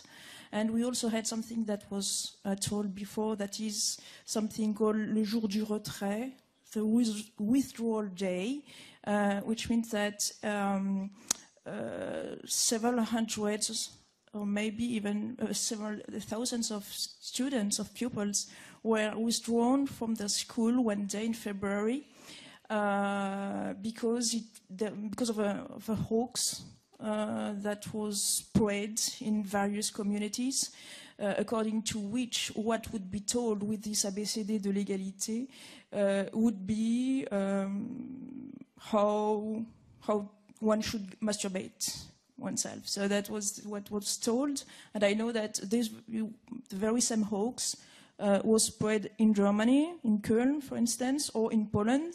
So it's something that we don't know where it comes from, but it was used in France too. So this is uh, one part of um, what is going on in France. I mean, it has to do with school, and as you know, it's uh, as you might know, school is very important in France. It's really at the core of our uh, national identity. So every every time you have a topic, uh, there is a, or a social issue, you have a good chance that when it, when it is related to school, it's going to be a very heated debate. So it's what, it's what happened.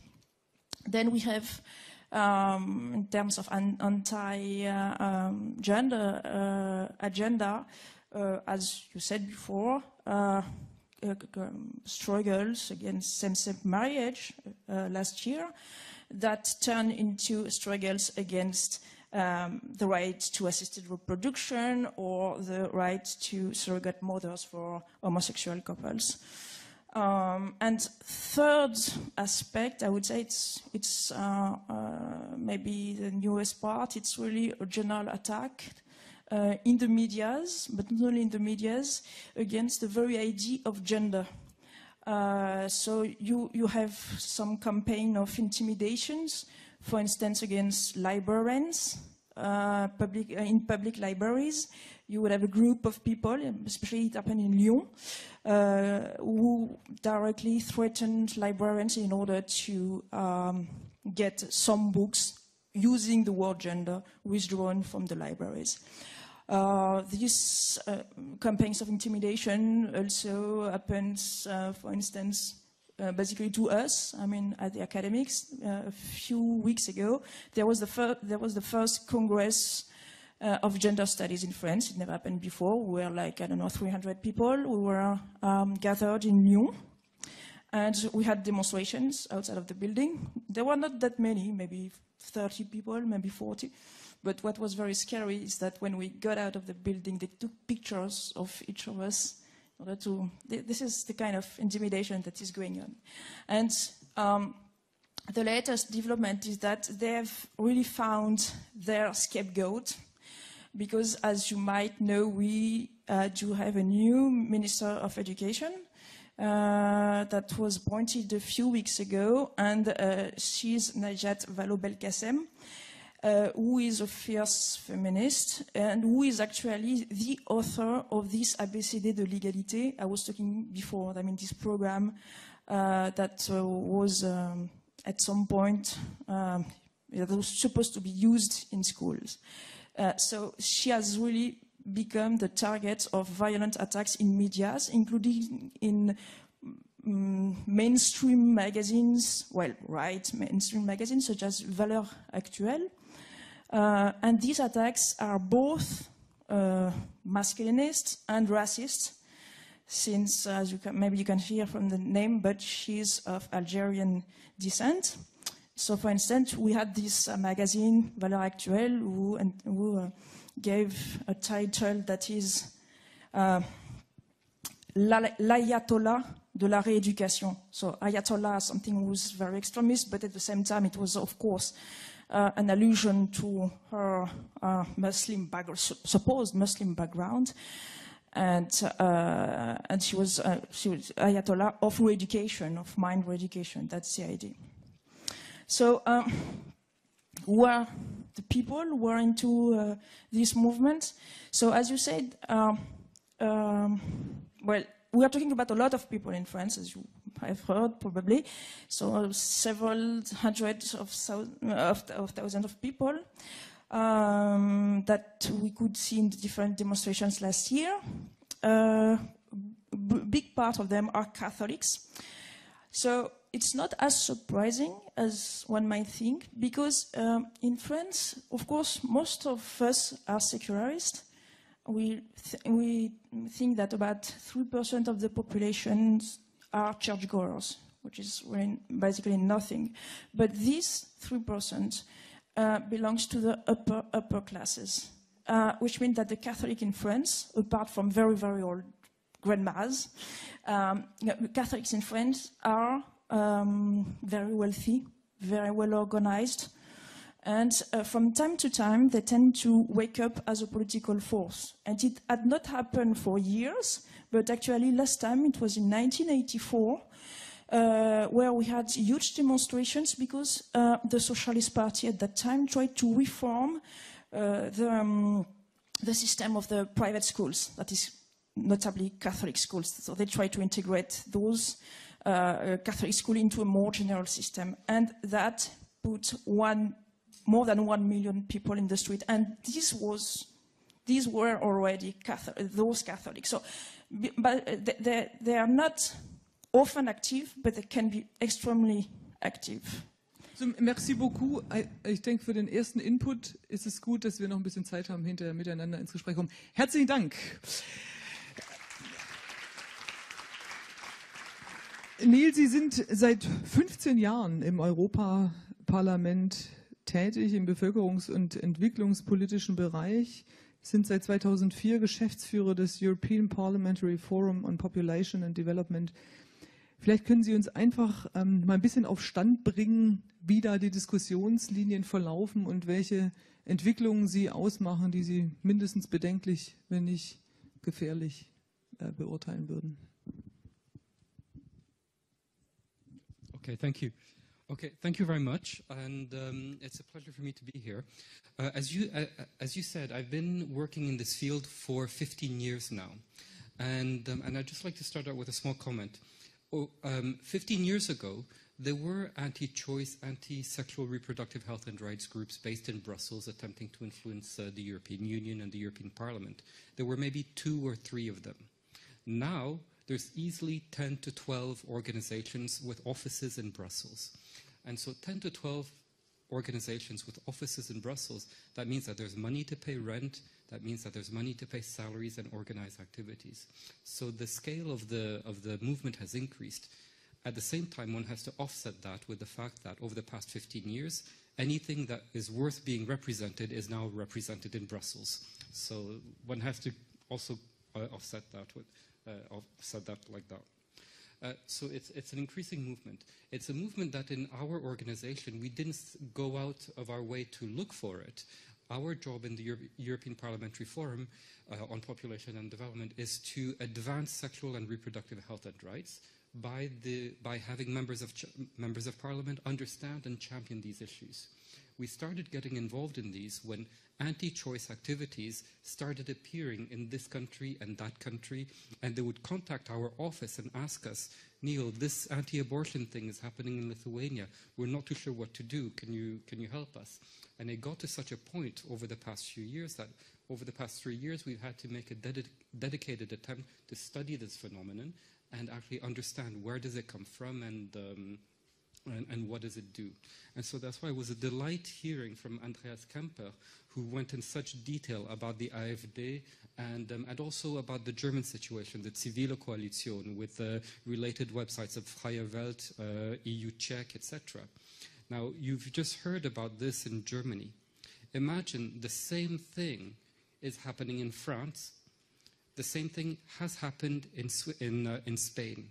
And so we have this phenomenon happening at, in more or less the same way, following the same template as Andreas Kemper described with the AfD, happening in other countries. That the AfD is now in the European Parliament is an accident.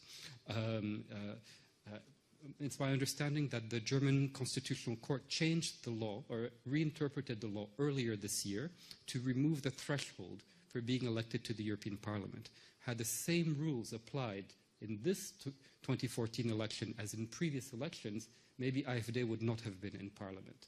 So, so we need to, to, consider that as well. So it's, it's a growth of a phenomenon but had the same rules been uh, uh, in place before, then maybe we wouldn't be having this discussion, or at least not in the same way. But um, over the past 15 years also, what we've seen is also a change in the way that the anti-choice, the anti-SRHR movement has, is behaving. So that now, uh, well, previously, I mean, we have the, we, they were not very professional. It was very, it was very motivated people who had, who had a deep, passionate conviction about something, usually against abortion, and they expressed that. What we see now is um, uh, professionals working in this field. Um, they, they are lawyers, they are politicians, and they know how to do, how to do politics. They, you put them in the European Parliament and they're at home there. They know which committees, uh, uh, how they work, which committees do what, and who they need to influence. Um, they're also legal uh, experts. So that we heard about one of us uh, recent uh, from Andreas Kemper. One of us um, they collected 1.8 million signatures. So already 1.8 million signatures when you have those signatures, you also most likely have their email addresses. So it provides a base for further mobilization. They collected 1.8 million signatures. They had their day in the European Parliament so that they met with two members of the European Commission had to, and the, those members of the European Co Commission had to sit there and listen to these extremists um, advance their point of view about why there should be no EU funding going to destroy human embryos, stem cell research, and sexual reproductive health and rights in developing countries. So they were able to force two leaders in Europe to do this. And then they had the decision of the European Commission, which is a 17-page document, well thought out and argue, well argued, and they didn't get the response that they want. And now, at the end of July, they have launched a legal challenge. They're taking to court the European Commission, the European Parliament, and the Council of Ministers because they didn't like the decision. So they have a nice legal argumentation. Unfortunately, I'm not a jurist myself, so when I read this document, I, I could feel there's something wrong with this. But not being a jurist, sometimes you know you you know you, you can't quite you know put the put the put the you know uh, identify exactly what's wrong. We had a legal we had a team of legal experts look at it, and they were saying this is this uses legal words, but this is has no legal foundation. And so already they're able to manufacture this type of, um, this type of, uh, uh, of work. So they're, so they're more professional, they're more numerous, Um, maybe I'll just conclude uh, with um, uh, taking a look at the European Parliament. Okay, so uh, Andres Kemper mentioned about uh, the AfD and our friend uh, Beatrix von Storch. Um, she did not make Not it. our friend. No, Some misunderstanding Yes. going on here. yeah. Uh, she did not succeed in becoming the chair, uh, the vice chair of the Women's Affairs Committee. Uh, in return, because she was rejected from that post, her own political party, the European Conservatives and Reformists, the third biggest party in the European Parliament, has appointed her spokesperson for women's affairs. So this means that anything related to women's affairs of the third biggest party in the European Parliament will go to uh, Ms. Beatrix von Storch, and she will establish the party line. It's her party members are free to follow this or not, but usually that's a position of influence. Um, secondly, before the European elections, um, one typical thing that, that usually happens is that there's a lot of um, different interest groups that go to the different candidates and ask them to pledge or to commit to, to something, saying, if I, you know, I promise if I'm elected to the European Parliament, I will support this or I will advance that there were a number of uh, ultra conservative uh, organizations in different countries that had such pre election pledges. Um, and what we've done is we've been able to identify them and we've counted how many members of the European Parliament who did get elected have signed these pledges. And it's a bit of concern. The biggest political party, the European People's Party, that's the party where the CDU and CSU sit. Um, so the biggest one, 17% of all the MEPs from the European People's Party have signed an anti-SRHR pledge. Um, from the ECR, where, um, where the IFD sits, that's an even more alarming 33% of that party who have signed some anti-abortion, anti-LGBT pledge. And finally, there's also a specific political party that um, it corresponds to the evangelical network Andres Kemper mentioned, uh, which assembled little, little political parties from different countries around Europe. Um, and uh, this, and it's been, it has been able to secure funding from the European Parliament to function. It's called European Christian Political Movement. This party essentially acts as an incubator for anti-SRHR ideas, and it is from politicians within that party that we see um, initiatives against uh, abortion, against sexuality education, appearing in a number of East European countries, among a number of other things. It's also from that political family that the anti-mosque or the anti-minaret initiative in Switzerland came about a number of years ago, if you remember. But I'll conclude on that. Thank you. Okay, thank you very much. Vielen Dank für diesen interessanten Einblick. Der beschreibt, es werden mehr Initiativen, die deutlich besser ausgestattet sind, wesentlich professioneller arbeiten und natürlich die modernen Medien auch sehr gut für sich zu nutzen wissen. Ähm, Kirsten Achterlig, was ist hier bei uns in Deutschland los? Und dann auch ein Blick nach äh, Spanien. Ja, danke auch von mir für die Einladung. Ich bin ganz gespannt auf die Diskussion, die wir gleich haben werden. Und ich bin auch total froh, dass das geklappt hat mit der Veranstaltung. Jetzt so zwei Tage für den Marsch für das Leben, ähm, um den es ja jetzt auch gehen soll. Und ähm, dieses Wochenende wird es nicht nur, ähm, wo wir jetzt auf der Europaebene auch sind, den Marsch für das Leben in Berlin geben, sondern auch einen in Zürich. Das kann ich nicht aussprechen, wie das da heißt. So was ähnliches wie Marsch fürs Läbe oder so. Und ähm, in Madrid wird es auch ähm, eine sehr viel größere Demonstration für das Leben geben. Wahrscheinlich eher wird es in die 10 bis Hunderttausende gehen, die da aus ganz Spanien angereist kommen. Aber dazu später. Erstmal sage ich kurz was äh, zu Berlin, zu den Strukturen, die das hier organisieren. Das ist ähm, hauptsächlich äh, der Bundesverband Lebensrecht, der das ähm, in Berlin den äh, Marsch für das Leben organisiert. Das ist ein Dachverband aus äh, 13 Lebensschutzgruppen, ähm, darunter die Christdemokraten für das Leben. Das ist die Lebensschutzorganisation in der CDU. Also wenn ich Lebensschutz sage, immer die Anführungszeichen einfach mit vorstellen. Ähm, sonst kriege ich einen Krampf im Finger, wenn ich das jedes Mal machen muss. Ähm, und so Gruppen wie die Europäische Ärzteorganisation zum Beispiel. Ähm, der Marsch findet in Berlin zum zwölften Mal jetzt dieses Jahr statt. Ähm, seit 2008 machen sie das äh, jedes Jahr. 2008 ist auch das Jahr, wo es die ersten größeren Proteste von äh, feministischen und antifaschistischen ähm, Gruppen gab. Und also der erste Protest wurde sozusagen damit belohnt, dass sie jetzt jedes Jahr dann gekommen sind. Kann man nicht so richtig als Erfolg äh, verbuchen. Aber ähm, und außerdem wächst er halt auch ähm, kontinuierlich ähm, von äh, circa so 600 ähm, Leuten äh, im ersten Jahr, also von den Protesten ähm, 2008 zu im letzten Jahr so um die circa 4000. Das ähm, ist eine bundesweite Mobilisierung und teilweise auch eine internationale Mobilisierung. Also da kommen auch Busse zum Beispiel aus Polen und äh, Rednerinnen aus England oder den USA, aber es sind schon auch, also es, es sind schon auch sehr viele Leute, ähm, die da durch Berlin äh, marschieren. Und man muss sich das vorstellen, die haben so Kreuze, so Holzkreuze. Die sahen am Anfang so aus wie so ein wandelnder Friedhof, weil da tatsächlich jeder noch so ein weißes, ein Meter großes Holzkreuz hatte. Mittlerweile haben die nicht mehr für jeden ein Kreuz. Das entspannt so ein bisschen die äh, Optik. Aber ähm, genau, also das, diese Kreuze stehen für die äh, toten Kinder natürlich, also für die abgetriebenen äh, Föten. Da haben sie auch Zahlenspiele, das muss ich jetzt vielleicht nicht ausführen, was ähm, alles nicht so ganz ähm, nachweisbar ist, was da alles nicht stimmt, aber ähm, also diese Kreuze stehen halt für, äh, ja, genau, für die abgetriebenen Föten. Und ähm, das Motto ist äh, dieses Jahr, das, das, ändert sich immer so ein bisschen, äh, ist dieses Jahr, jeder Mensch ist gleich wertvoll, unabhängig von Eigenschaften und Umständen und ähm, Ja zum Leben für ein Europa ohne Abtreibung und Euthanasie.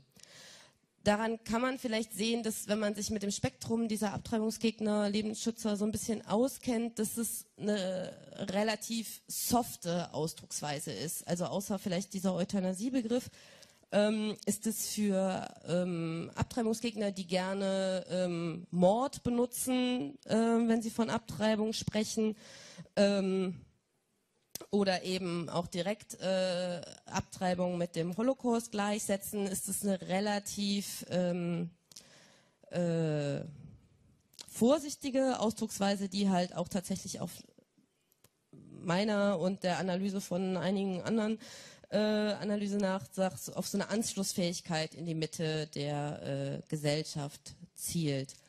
Ähm, diese gemäßigte und auch tatsächlich auch durchchoreografierte Auftritt.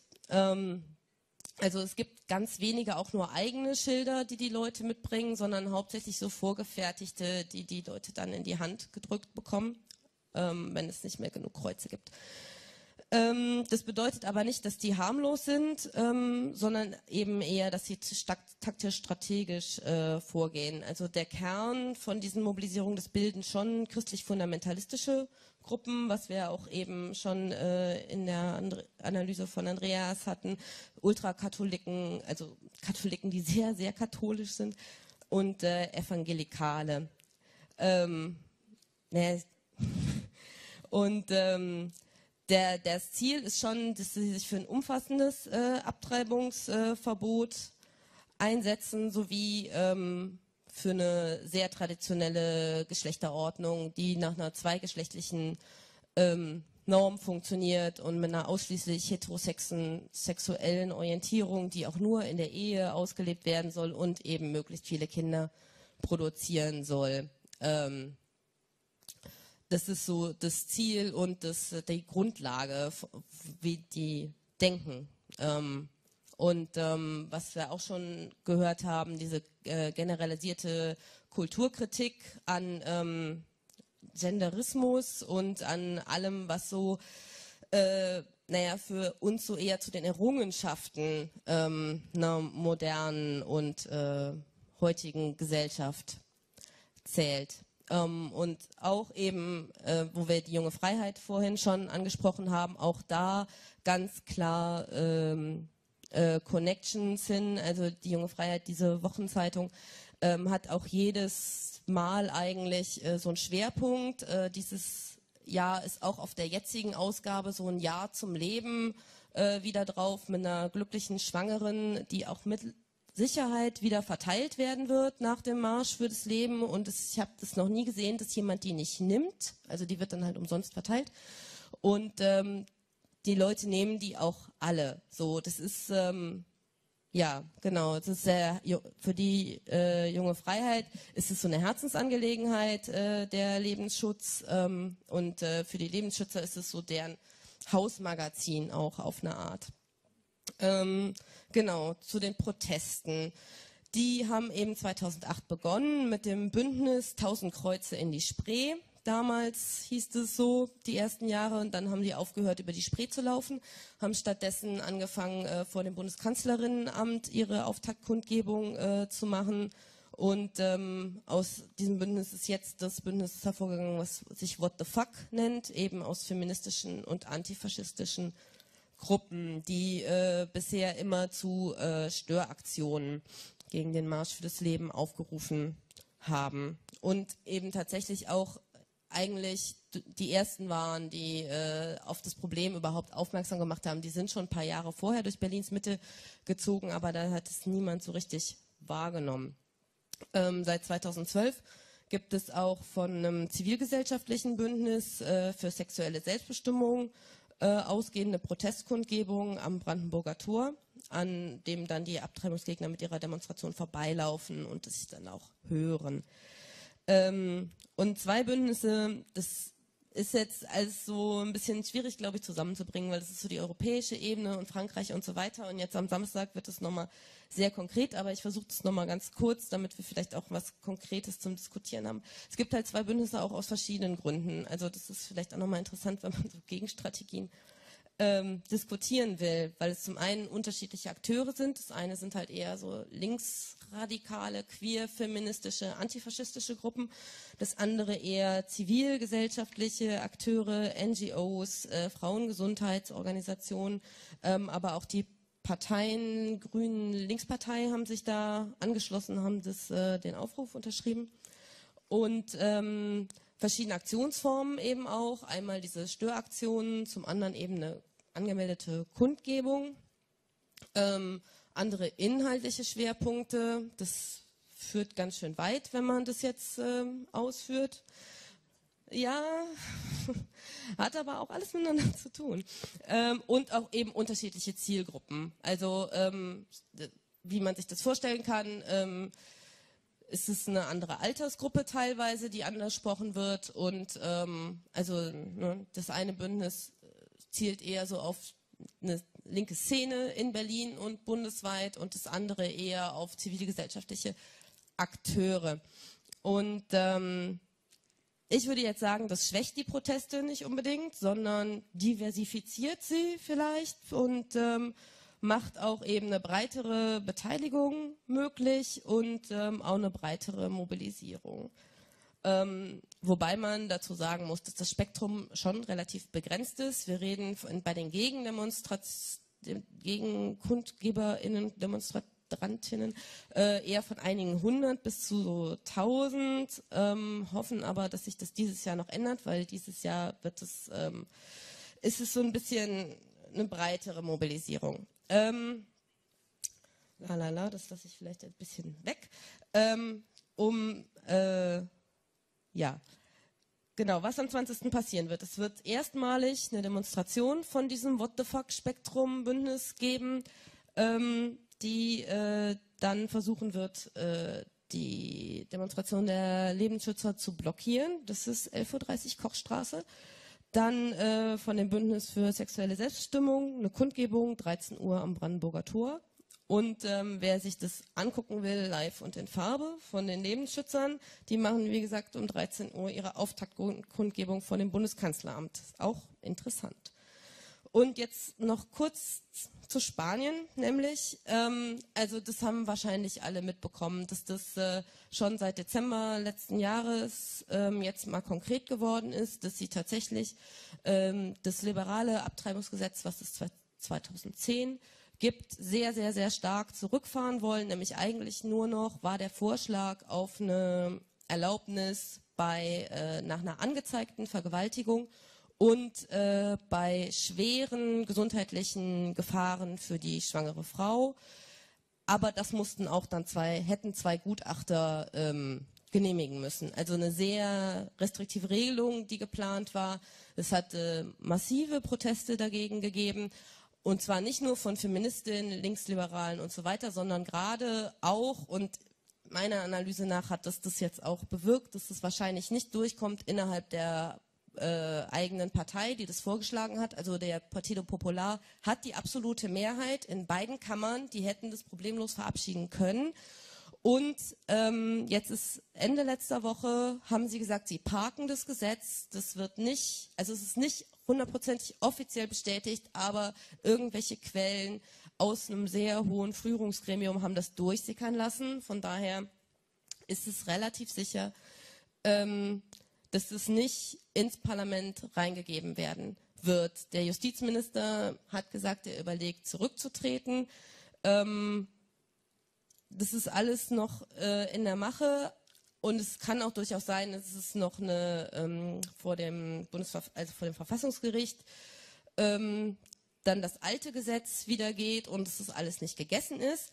Aber als also so, wo man schon mal feiern kann, erstmal ist es allerhöchstwahrscheinlich abgewendet, dass es in allernächster Zeit sich äh, so verschlechtert, wie das jetzt befürchtet worden war.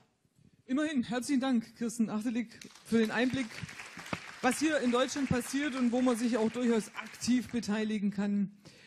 Herr Kemper, Sie haben das selber so beschrieben, dass es eine basisdemokratische Bewegung durchaus ist am rechten Rand. Ähm, warum ist plötzlich Gender Mainstreaming, Streaming, Streaming, genau, Mainstream so wichtig, so sexy, dass es so in den Mittelpunkt rücken kann von äh, politischen rechten Gruppierungen.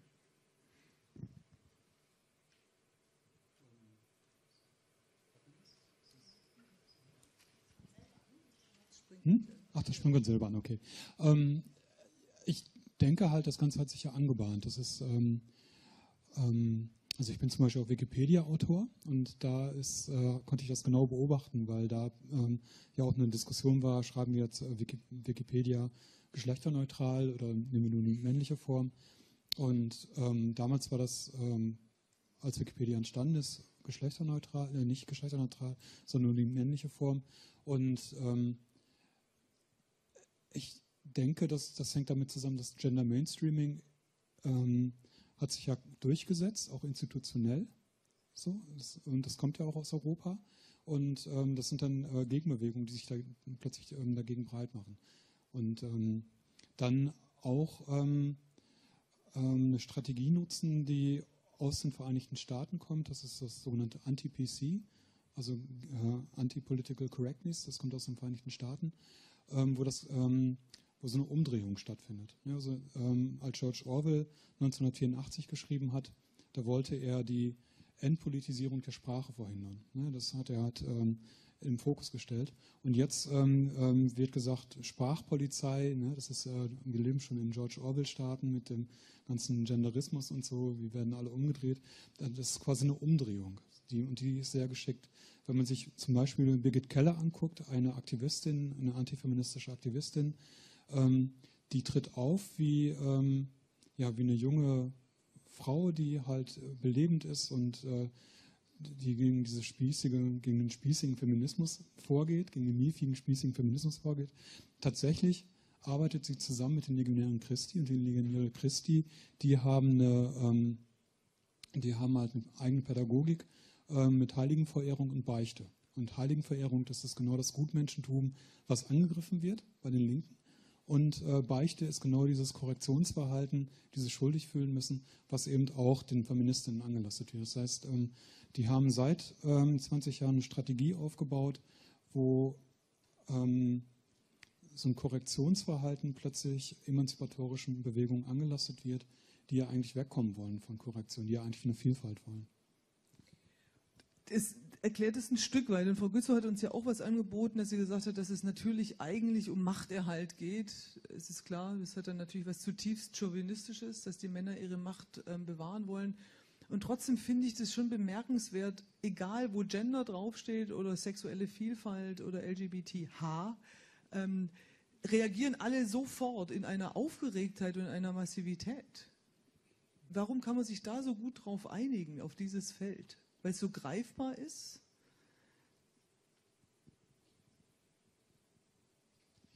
Ja, ich, ich glaube, da muss man noch, also ich habe das ja gerade auf so einer Erscheinungsebene eigentlich erklärt, aber wir haben ja auch gerade auch eine Wirtschaftskrise und jetzt gerade in dieser Wirtschaftskrise sind äh, privilegierte Schichten, die fahren halt die Ellenbogen aus. Ne? Die wollen halt, das ist genau die AfD, die Ellenbogen fahren die halt nach allen Seiten aus. Das äh, geht gegen Ausländer, das geht gegen ähm, Schwulen und Lesben, das geht gegen Gender Mainstreaming, auch gegen untere Schichten und so weiter.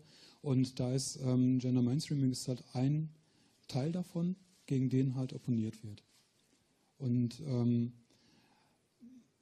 ich denke, das, das klappt gut mit, äh, zum einen mit dieser Wucht der Wirtschaftskrise, die das Ganze befeuert, auf der einen Seite und eben, ähm, weil das Ganze ja auch relativ neu ist, also Gender Studies haben wir ja seit ein paar Jahren, ähm, lässt sich das auch sehr gut angreifen und ähm, ich denke, die beiden Sachen erklären das. Sie haben eine gute Strategie und die haben jetzt nochmal die Wirtschaftskrise im Hintergrund mit den ganzen Ängsten, die die, die hervorrufen. So würde ich das erklären. Neil Dada, ähm, Andreas Kemper hat ausgeführt, äh, dass vor allen Dingen in relativ reichen Ländern, die diese rechten Parteien besonders großen Zuwachs haben. Haben Sie dafür auch eine Erklärung oder schließen Sie sich der Erklärung an, die Andreas uns gegeben hat?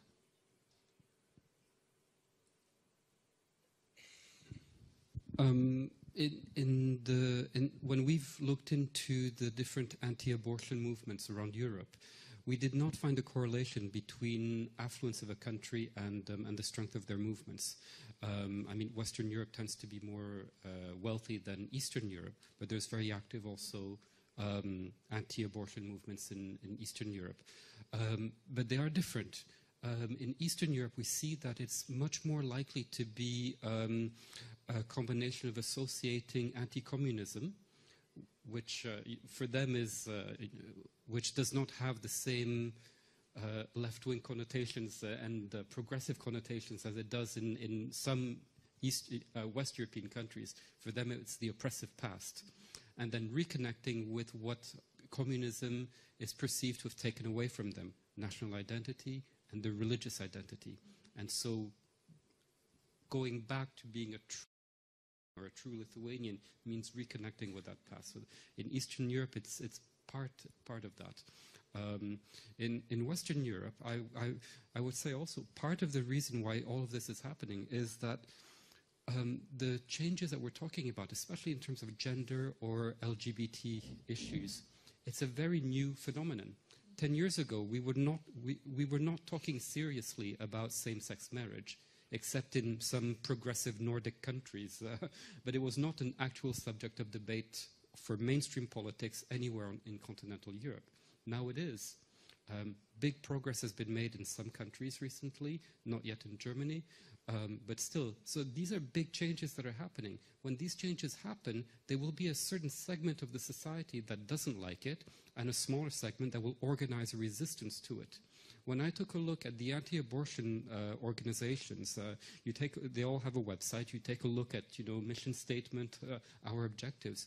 So many of them, they describe themselves as, uh, ha as having decided to come into being when the abortion law of that country was about to be adopted, and they felt a need to organize and create a voice in society that was speaking out against this and offer women an alternative to abortion. So it's, it's a protest movement to to evolutions in society. So would you say some changes just happened too fast? Um, some, I would say not, not necessarily too fast. I would say sometimes they happened, um, they were not well managed.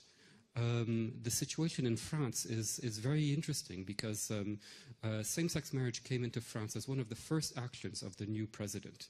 So one can wonder, with all the things uh, to, be, to be doing, this thing to come first is, is can pose questions.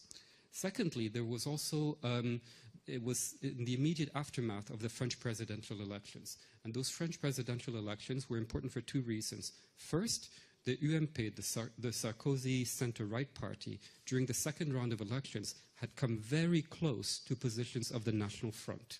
And that was quite frightening. And that's an open, that's an open thing. So it made it legitimate to speak about more really right wing things in the center right. Secondly, because of the defeat of Sarkozy, there was an implosion inside the UMP party. So Sarkozy stepped out. He promised never to come back, but now maybe he will. Uh, we're waiting in a few weeks, but he promised never to come back. And then there were two camps within the UMP party. Uh, Fillon and Copé, and they were fighting it out. And then there were those elections where one camp tricked the other and won the elections illegally. Then, so there, basically, there was a center-right party that was decapitated, and it left a lot of room for personal initiative, or there was no discipline in the party. And then finally, um, with the uh, with with them being in um, with them being in opposition, with the center right being in opposition, well, you're in opposition, so you have to oppose something. This is the first thing that the new government comes out with. It's legitimate to be more center right. There's no discipline and no leadership, so you oppose this thing that's coming out from uh, from the new government. Even though within the within the UMP party, they were never really staunchly against uh, same-sex marriage. I think it's a convergence of circumstance that led to this, and then movements in France, and in part also helped by U.S. movements. We know that some American groups came to France, helped organize uh, the Manif pour tous, took advantage of a very convenient vacuum. Ähm, ich glaube, Sie stimmen der Ana äh, genau, ich, mach's auf Deutsch. ich glaube, Sie stimmen der Analyse im Groben zu. Was bedeutet es, wenn es stimmt, was Kollege Datter analysiert hat? Well, only partially.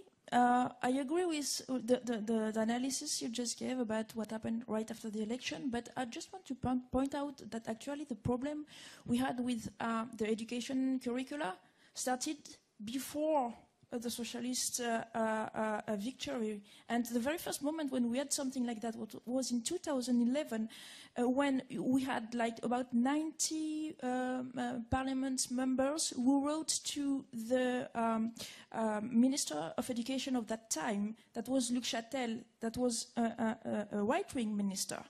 And they wrote to him in order to ask him to withdraw some books that, we, that was, uh, were used in school and that used the idea of gender.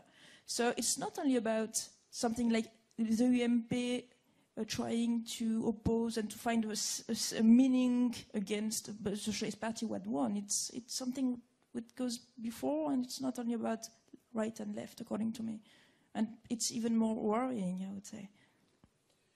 Ähm, die AfD in Deutschland ist auch so erfolgreich, weil sie wie eine Art Staubsauger agiert. Die nimmt sämtliche Unzufriedenheiten auf in Bereichen, die die klassischen Parteien möglicherweise zu sehr vernachlässigt haben. Auf jeden Fall, ähm, wo es Bereiche gibt, wo weite Teile der Bevölkerung offensichtlich unzufrieden sind. Dazu kommt, dass die AfD sehr geschickt mit den Ressentiments gegenüber ähm, politischen Institutionen und Parteiengefügen, den etablierten Parteien äh, spielt. Und darin spielt sie natürlich auch die Vorurteile gegen der, gegenüber der Europäischen Union sehr geschickt aus. Welche Rolle spielt dieser Aspekt oder diese Aspekte in Frankreich? Um, yes, there is also a very strong uh, anti-Europeanism which is used uh, in the uh, political grammar around those anti-gender uh, uh, battles, uh, especially because it is said that all the anti-discrimination policies are imposed to us by Brussels, so it is something that the citizens have not chosen, but somehow you have those bureaucrats that decide what is a woman, what is a man, and things like that. So yes, and it's not, an, I would say, not only against the European Union, but it's also against all kind of international um, organizations. And for instance, we had this other hoax, uh, according uh, to um, to which uh, the World Health Organization uh, was supposed to support um, uh, kids' mas- masturbation, and I think this is something that happened in other countries. But for instance, in France, uh, that was something that was say, said publicly uh, by one of the uh, most important uh, representative of the Printemps Français you mentioned before, which is the French uh, spring, and uh, who actually uh, said, I mean, uh, contribute to the to the to the spreading of this of this hoax. So, um, yeah, it's not only European; it's everything which is international, which is worldwide, which is, I mean, it's a, it goes back to a very uh, scary tradition, I would say, this anti-globalization, anti mm, uh, international movements. Uh, let's go back to our small country. It's better like that. And you have those bizarre forces behind our backs, and we have to resist to that. Uh, also, you have some anti-Semitism in that, uh, and that we heard in France, but maybe here too. That is, for instance, those forces are supposed to be manipulated by Jewish um, movements or people. So it's uh, there is something like that going around. Vielen Dank. Ich würde gerne eine Frage noch an Sie alle richten, bevor wir dann äh, ins äh, Publikum öffnen. Übertreiben wir es nicht wahnsinnig? Sitzen jetzt hier und haben die Angst vor einem Rückwärtsgang Europas. Sollten wir nicht einfach sagen, Parteien wie die AfD gibt es immer, zumindest in Deutschland gab es die Republikaner, es gab die NPD, es gab die Schill-Partei, es gab die Stadtpartei in Hamburg. Schenken wir nicht den, ähm, der AfD und allem, was dranhängt, eine viel zu große Aufmerksamkeit? Sollten wir nicht eher sagen, die gibt's halt, wir müssen gucken, dass sie nicht größer werden und damit ist es gut. Ich saß gestern mit Herrn Dr. Gauland in einer, ähm, das ist der Brandenburger AfD-Chef, in der Podiumsveranstaltung, dem nee, bei Radiodiskussion, Deutschlandradio, und hinterher sagte er, wissen Sie, Frau Pohl, jede dieser Veranstaltungen ist gut für uns, weil dann wird, erscheint unser Name, wir können unsere Parolen verkünden, verkünden und das ist eine Aufmerksamkeit für uns. Geben wir diesen Parteien, diesen Organisationen damit nicht ein Forum und machen sie dadurch nicht stärker, als sie sind? Ja, das war auch die Diskussion bei den ähm, ersten Protesten und ist es te- teilweise immer noch bei den Protesten gegen die äh, Abtreibungsgegner. Und man kann zum Teil sagen, ja, das ist wohl so. Also tatsächlich, wenn 2008 nicht die Proteste angefangen hätten, also vorher haben die Zeitungen da nicht drüber geschrieben. So. Und ähm, dann haben sie angefangen, darüber zu schreiben, weil die Proteste so interessant waren. Ähm, aber das heißt ja nicht, dass man es nicht machen darf oder soll sogar. Also es gibt ein Problem und ähm, es hat ja einen Einfluss. Also wenn die AfD in den Parlamenten sitzt, wenn die in den Fraktionen im Europäischen Parlament sitzt, dann haben die ja einen Einfluss auf Politik und darauf, wie wir leben, wie andere Leute ihr Leben gestalten können. Und ähm, dann ist halt die, kann man natürlich sagen, ja, das gibt es immer wieder, die Partei und die jene Partei.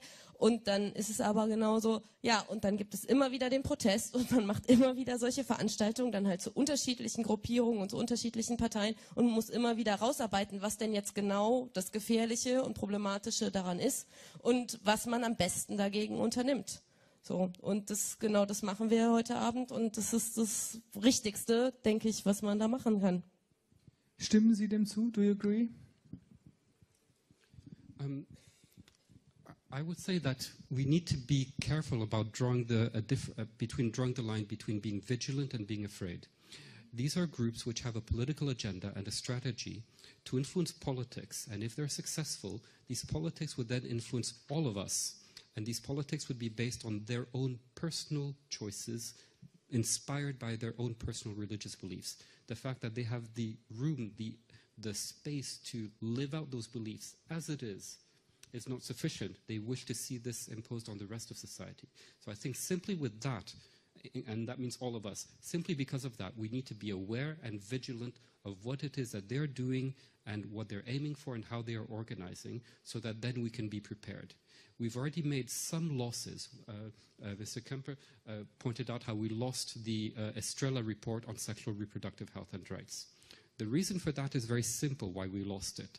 There was the creation of Die Freie Welt here in Germany, Citizen Go, a similar type of website based in Spain in eight languages, La Manif pour Tous website and related things in France. And from one day to the next, the members of the European Parliament, they were doing their job. They knew this was going to be a tricky issue, sexual reproductive health and rights. But from one day to the next, they received 15,000 emails all of them angry, saying, How are you doing this? All these lies. I've had to give myself two interviews on early childhood masturbation. It's not fun explaining this. Um, it, all of these emails. And then the, the members of the European Parliament got scared, and then the vote did not happen. So here we need to be aware of their tactics and warn people, explain this, and actually show where it comes from so that next time the members of the parliament who are actually sitting there influencing policies, voting budgets, etc., will not be influenced by extremist marginal groups.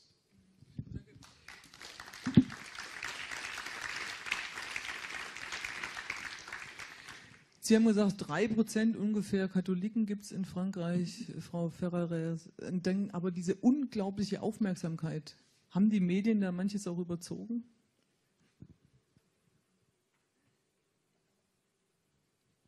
Um, I don't think so. you you really um, you could not ignore them. Um, but of course, it's not only. I mean, because I started to talk about the Catholics because it was qu your questions, but it goes far beyond the, well, the Catholics now.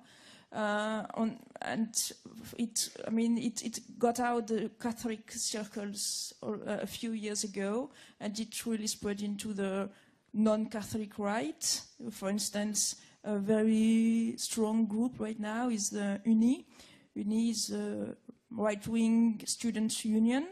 Uh, it has nothing to do with with uh, the Catholic Church, and now it's really um, developing a strong action within universities in order to uh, try to avoid the, the, idea of gender and things like that. So it, it goes um, um, way beyond the Catholic Church. And uh, on that, I would disagree with uh, what uh, Professor Campos said. Uh, it also somehow um, mobilized the, the, the Muslim uh, community, and not only on a passive, in a passive way.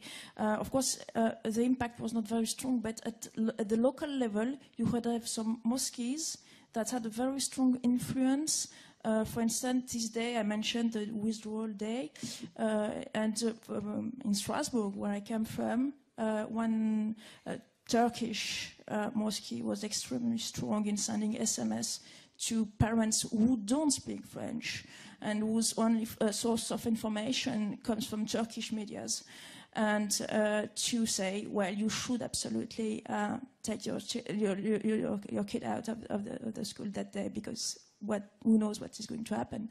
So um, of course, it's not big, but it works at the local level. So I would say that now we have different actors, and this is why there are so many, and this is why I don't think they are exaggerated at all.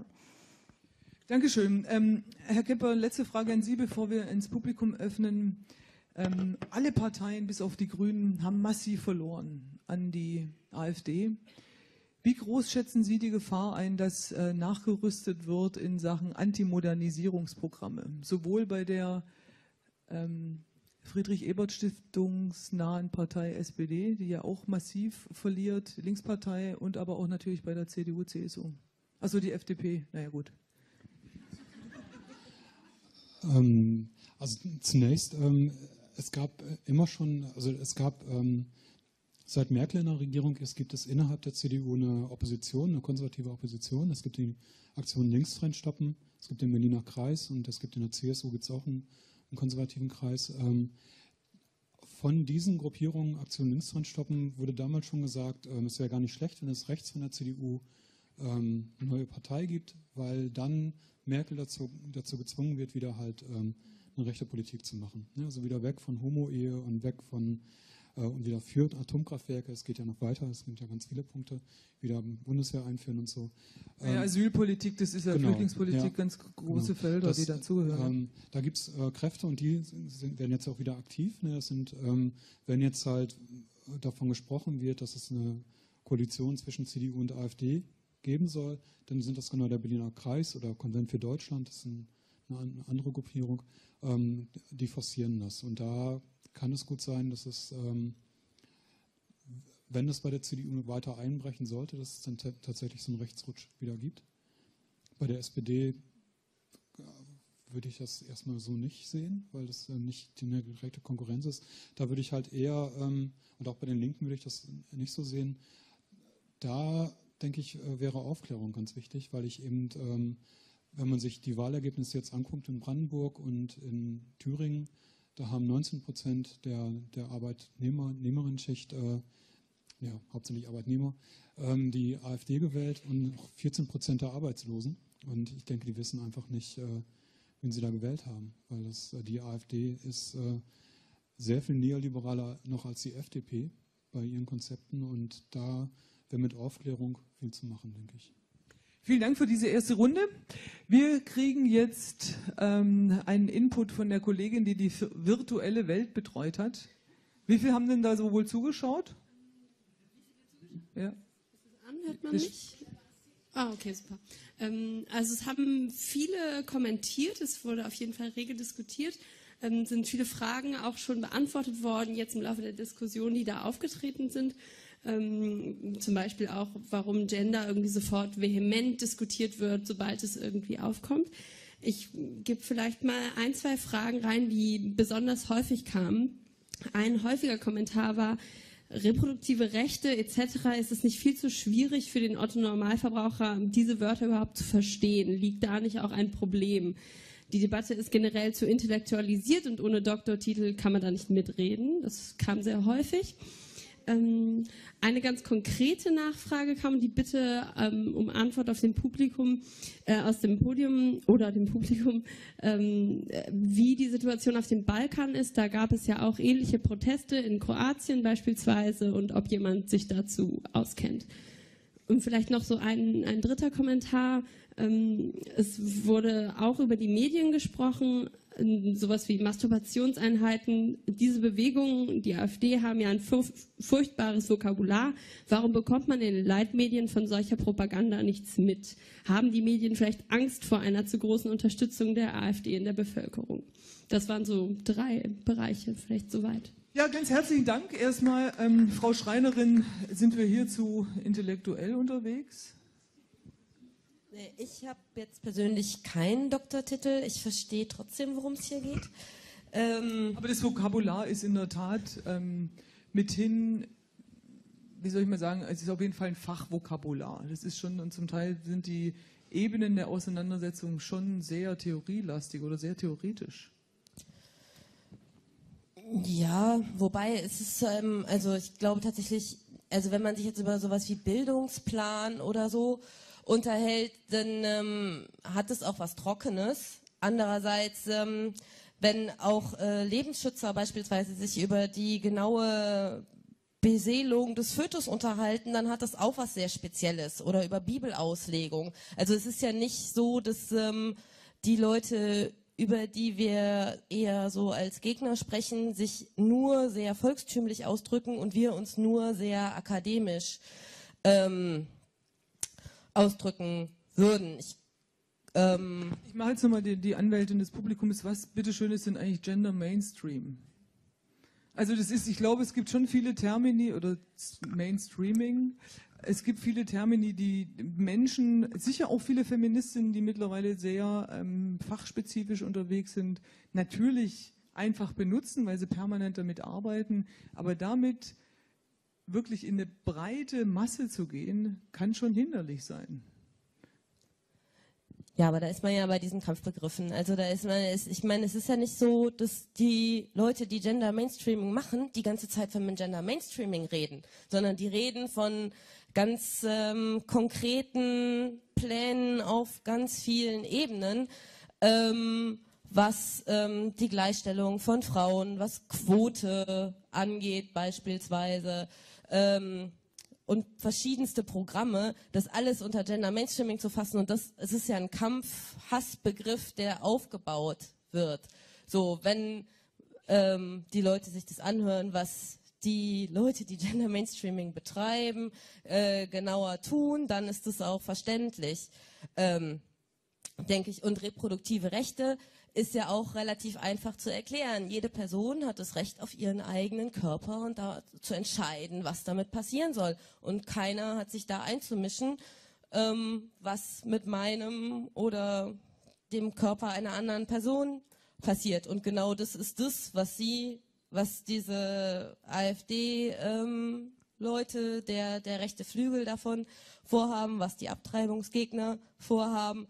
Ähm, einzelnen äh, Leuten, Minderheiten oder auch Mehrheiten, Frauen, abzusprechen, dass sie selber entscheiden können, ähm, ob sie schwanger werden wollen, ob sie eine Schwangerschaft austragen wollen, welche Verhütungsmittel sie wann nehmen wollen und ähm, so weiter und so fort. Und ich finde, das ist relativ einfach zu verstehen.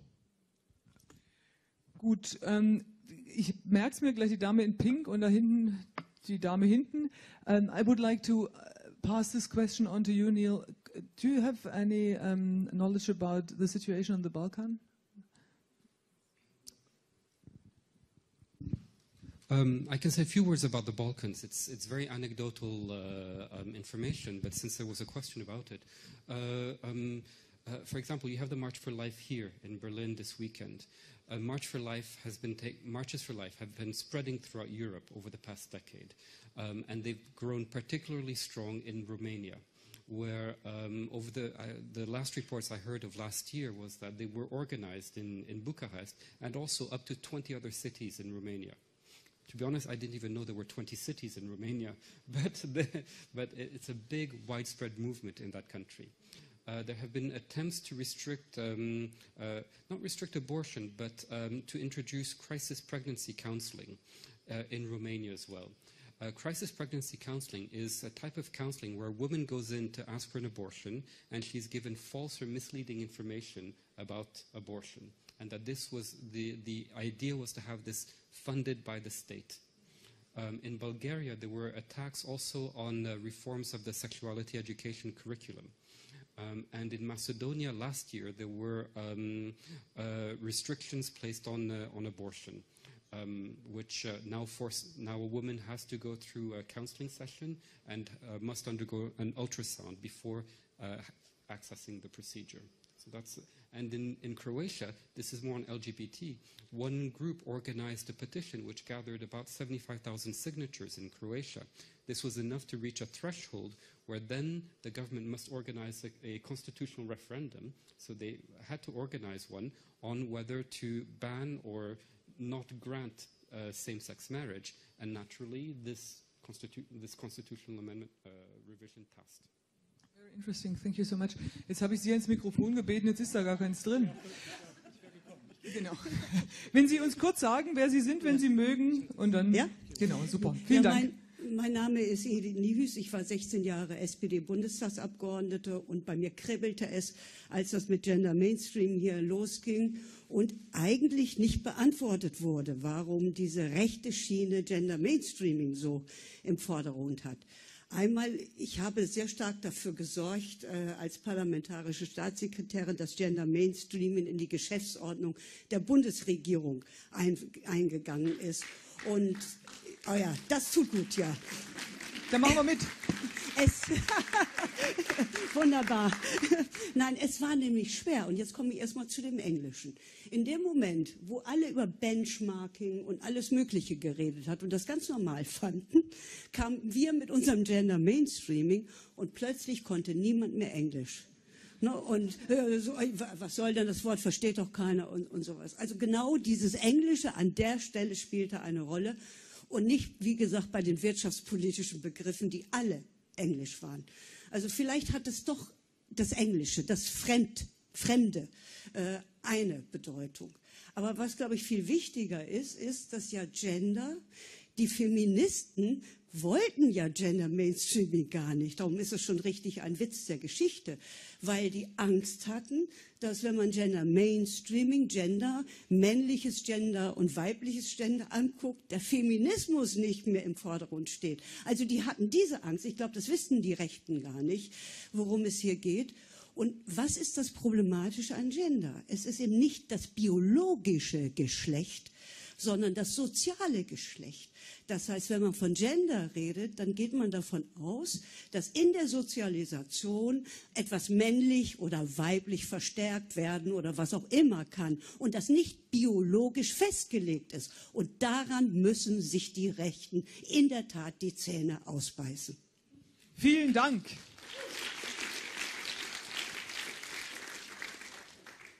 Vielleicht können wir da nachher auch in der Abschlussrunde durchaus nochmal drauf eingehen äh, und vielleicht die Frage nochmal aufgreifen, warum das so viel Schlagkraft hat, diese Begriffe und überhaupt das ganze Thema Sexualerziehung und so weiter. Aber jetzt bitte ich die Dame hinten ja. ans Mikrofon. Ja, hallo. Also ich, ich bleib mal sitzen. Also ich bin es nicht, nicht gewöhnt, so öffentlich zu reden. Äh, es brennt mir aber unter den Nägeln. Ähm, es sind einige Punkte zusammengekommen, die möchte ich jetzt einfach erstmal schnell zusammenfassen. Ich denke, es ist ganz wichtig, dass wir alle sehr aufmerksam sein müssen für das, was aktuell passiert. Es ist aus meiner Sicht nicht weit genug verbreitet und wird nicht weit genug publiziert in den Medien. Dazu zähle ich sämtliche Medien. Ich denke, dass viele politische Parteien da auch noch nicht so richtig Gesicht zeigen. Und das ist, denke ich, der Begriff, den ich wählen möchte, dass wir alle Gesicht zeigen müssen, um wirklich zu zeigen, ähm, so geht es eigentlich nicht. Diese diese Bewegung, die, über die wir heute reden, die findet statt und wir nehmen es eigentlich noch nicht so richtig wahr. Dazu zähle ich mich selbst genauso. Ähm, dann möchte ich zum Thema Mobilisierung und Gegenbewegung sprechen. Und ähm, der Punkt Begrifflichkeiten, Wortwahl ist aus meiner Sicht extrem wichtig, um zu kommunizieren, um sich verständlich zu machen. Das ist aus meiner Sicht alleine jetzt hier mit dieser Podiumsdiskussion und in der Form, wie die Begrifflichkeiten reproduktive Rechte, Gender Mainstreaming oder auch dieses, die Gegenbewegung Marsch gegen des Lebens oder für das Leben, äh, wie da reagiert wird, das wird nicht gut genug kommuniziert. Dazu möchte ich jetzt erstmal einen Vorschlag machen, reproduktive Rechte, die zwar hier in, diesem, in dieser Runde verständlich sind, ähm, anders auszudrücken. Ich denke, die Reaktion von Frau Achterlick, als sie gefragt wurde, ja, was ist denn nun mit diesem Begriff, äh, hat gezeigt, dass die Erklärung dazu ein bisschen kompliziert war.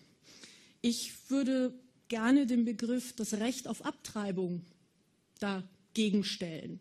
Das, denke ich, ist viel verständlicher und kürzer und erklärt eigentlich schon, worum es ja doch aus meiner Sicht, denke ich, geht. Zweitens, äh, ich bin so ein bisschen aufgeschreckt bei dem Begriff What the fuck. Nun ist das ein englischer Begriff, der bedeutet übersetzt, es macht nichts. Ich äh, denke, es ist ganz wichtig, dass man am Samstag auch zu dieser Gegenbewegung geht und ähm, dort auch Gesicht zeigt. Nun, mich persönlich schreckt dieser Begriff What the fuck ab. Ich würde mir dann einen anderen Begriff wünschen, damit man einfach auch viel mehr Leute, ich sage jetzt einfach mal normale Regel, ja normale Leute auch auf die Straße kriegt, um auch die uns, uns im Prinzip zu mobilisieren. Und ich denke, so ein Begriff wie What the fuck äh, ist da eher so ein bisschen abschreckend. Ähm, ja, das war eigentlich alles. Ganz, ganz herzlichen Dank. Ähm, Frau Astelik, wollen Sie da gleich darauf antworten? Äh, ja, vielleicht kurz. Macht das was? Ja. Ähm, naja, also mit dem Recht auf Abtreibung, das ist ja sozusagen in den reproduktiven Rechten drin, aber eben alle möglichen anderen Rechte nicht. Und von daher ist es halt so ein bisschen zu kurz gesprungen. Also das kann man, also das kommt immer auf den Kontext an und ich würde es auch immer sagen. Natürlich ist, bin ich für das Recht auf Abtreibung, aber was ist mit dem Recht, die Verhütungsmittel selbst auszusuchen, mit dem Recht auf äh, Sexualerziehung und so weiter? Das ist halt in den ähm, Recht auf sexuelle Selbstbestimmung, in den reproduktiven Rechten drin, aber nicht in dem Recht auf Abtreibung. Von daher ist es ähm, kontextabhängig, wie weit man die Diskussion treibt und wann man welche ähm, Begrifflichkeit äh, verwendet. Und äh, dass das Bündnis What the fuck heißt, da kann ich ähm, leider nichts dafür. Ich ähm, bin jetzt vielleicht auch nicht so wahnsinnig glücklich ähm, damit, aber ähm, das, ähm, also das hilft jetzt auch nicht viel, das mit mir zu diskutieren. Und ähm, das ist einfach auch eine Demonstration, wo man hingehen kann, die auch ähm, ähm, mit dem Fuck im Namen nicht so wahnsinnig viel zu tun hat. Und ähm, man kann sich das wohlwollend anschauen und dann hoffen, würde ich hoffen, dass sie dann nicht mehr so abgeschreckt sind. Herr Kemper. Ja, zu den ähm, reproduktiven Rechten. Also mir ist, das, mir ist dieser Begriff als ich den zum ersten Mal gelesen habe, dachte ich auch, hm, was soll das? Ist das nicht zu kompliziert? Und als ich mich jetzt mit der AfD befasst habe und mit Frau Petri und äh, jetzt äh, gelesen habe, wie sehr Frau Petri darauf dringt, dass Familienpolitik Bevölkerungspolitik ist, ähm, da wird der Begriff reproduktive Rechte plötzlich klar. Weil es geht darum, dass man sich nicht ähm, definiert über eine Bevölkerungspolitik. Man ist nicht ähm, plötzlich als Deutscher gezwungen, ähm, jetzt Kinder kriegen zu müssen äh, und als, oder als gutverdiener Deutscher ähm, nicht gezwungen, Kinder kriegen zu müssen. Man äh, soll auch nicht ähm, keine Kinder kriegen dürfen, wenn man äh, zur Unterschicht gehört. Ne? Also da, da, das drückt auch reproduktive Rechte aus. Abtreibung ebenso. Aber also wir haben seit ein paar Jahren, seit Thilo Sarrazin, also vorher schon seit 2005, eine Debatte in Deutschland, dass die Falschen die Kinder kriegen und dass äh, Deutschland nicht nur ausstirbt, sondern dass in Deutschland die Falschen die Kinder kriegen. Und ähm, Thilo Sarrazin hat es nochmal auf den Punkt gebracht. Und da ist dieser Begriff reproduktive Rechte eben auch wichtig, dass man nicht, man ist ein Mensch, man hat Menschenrechte und reproduktive Rechte ist ein Menschenrecht und das äh, richtet sich auch dagegen, dass man eben Kinder kriegen muss oder keine Kinder kriegen darf. Ich glaube, das ist ganz, ganz wichtig, dass wir uns wirklich, das finde ich auch sehr schön in Ihrer Ausführung, ähm, vergegenwärtigen, dass es da tatsächlich um Bevölkerungspolitik gibt. Also das ist, kann man, glaube ich, gar nicht oft genug sagen. Und vielleicht sollte man das dann einfach manchmal auch erklären, solche Begrifflichkeiten, selbst wenn man sie ganz oft benutzt, damit man das dann einfach ja, einem größeren äh, Publikum, was sich erstmalig vielleicht auch damit beschäftigt, dann leichter zugänglich macht. Vielen Dank. Hinten eine weitere Frage. Ja, äh, also Stefan heißt, ich beschäftige mich auch schon seit 20 Jahren mit diesen Themenkomplexen, sei es neue Rechte, sei es anti-emanzipatorische Gruppen wie halt äh, Religionskritik etc. Dementsprechend, Andreas hat es in seinem Büchlein oder in der Studie auch geschrieben, die AfD ist nicht vom Himmel gefallen. Da gibt es Vorfeldstrukturen, angefangen Bund freier Bürger bis zu diesem Konvent etc. Es gibt Strukturen hier in der Stadt, wo ich darauf eingehen werde, weil das wurde ja überhaupt nicht thematisiert, dass die alle hier sitzen und zwar Seit an Seit. Alle Strukturen von der von Storch, die ganzen Vereine, Andreas hat das immer nur Webseiten genannt, das ist der andere Aspekt. Ich mache erstmal den ersten Aspekt. Wir haben hier eine Multimedia-Show mit Internetanbindung. Finde es aber problematisch, wenn Andreas flapsig von Spam-Mails spricht, weil es wurde ja von den anderen deutlich gemacht, es sind Massenmails und die sind auch nicht irgendwie Spam mit wirrem Inhalt, sondern sie sind mit Inhalt, der auch Effekte erzielt. Dementsprechend ist der Spam-Begriff, den Andreas immer benutzt hat, unpassend.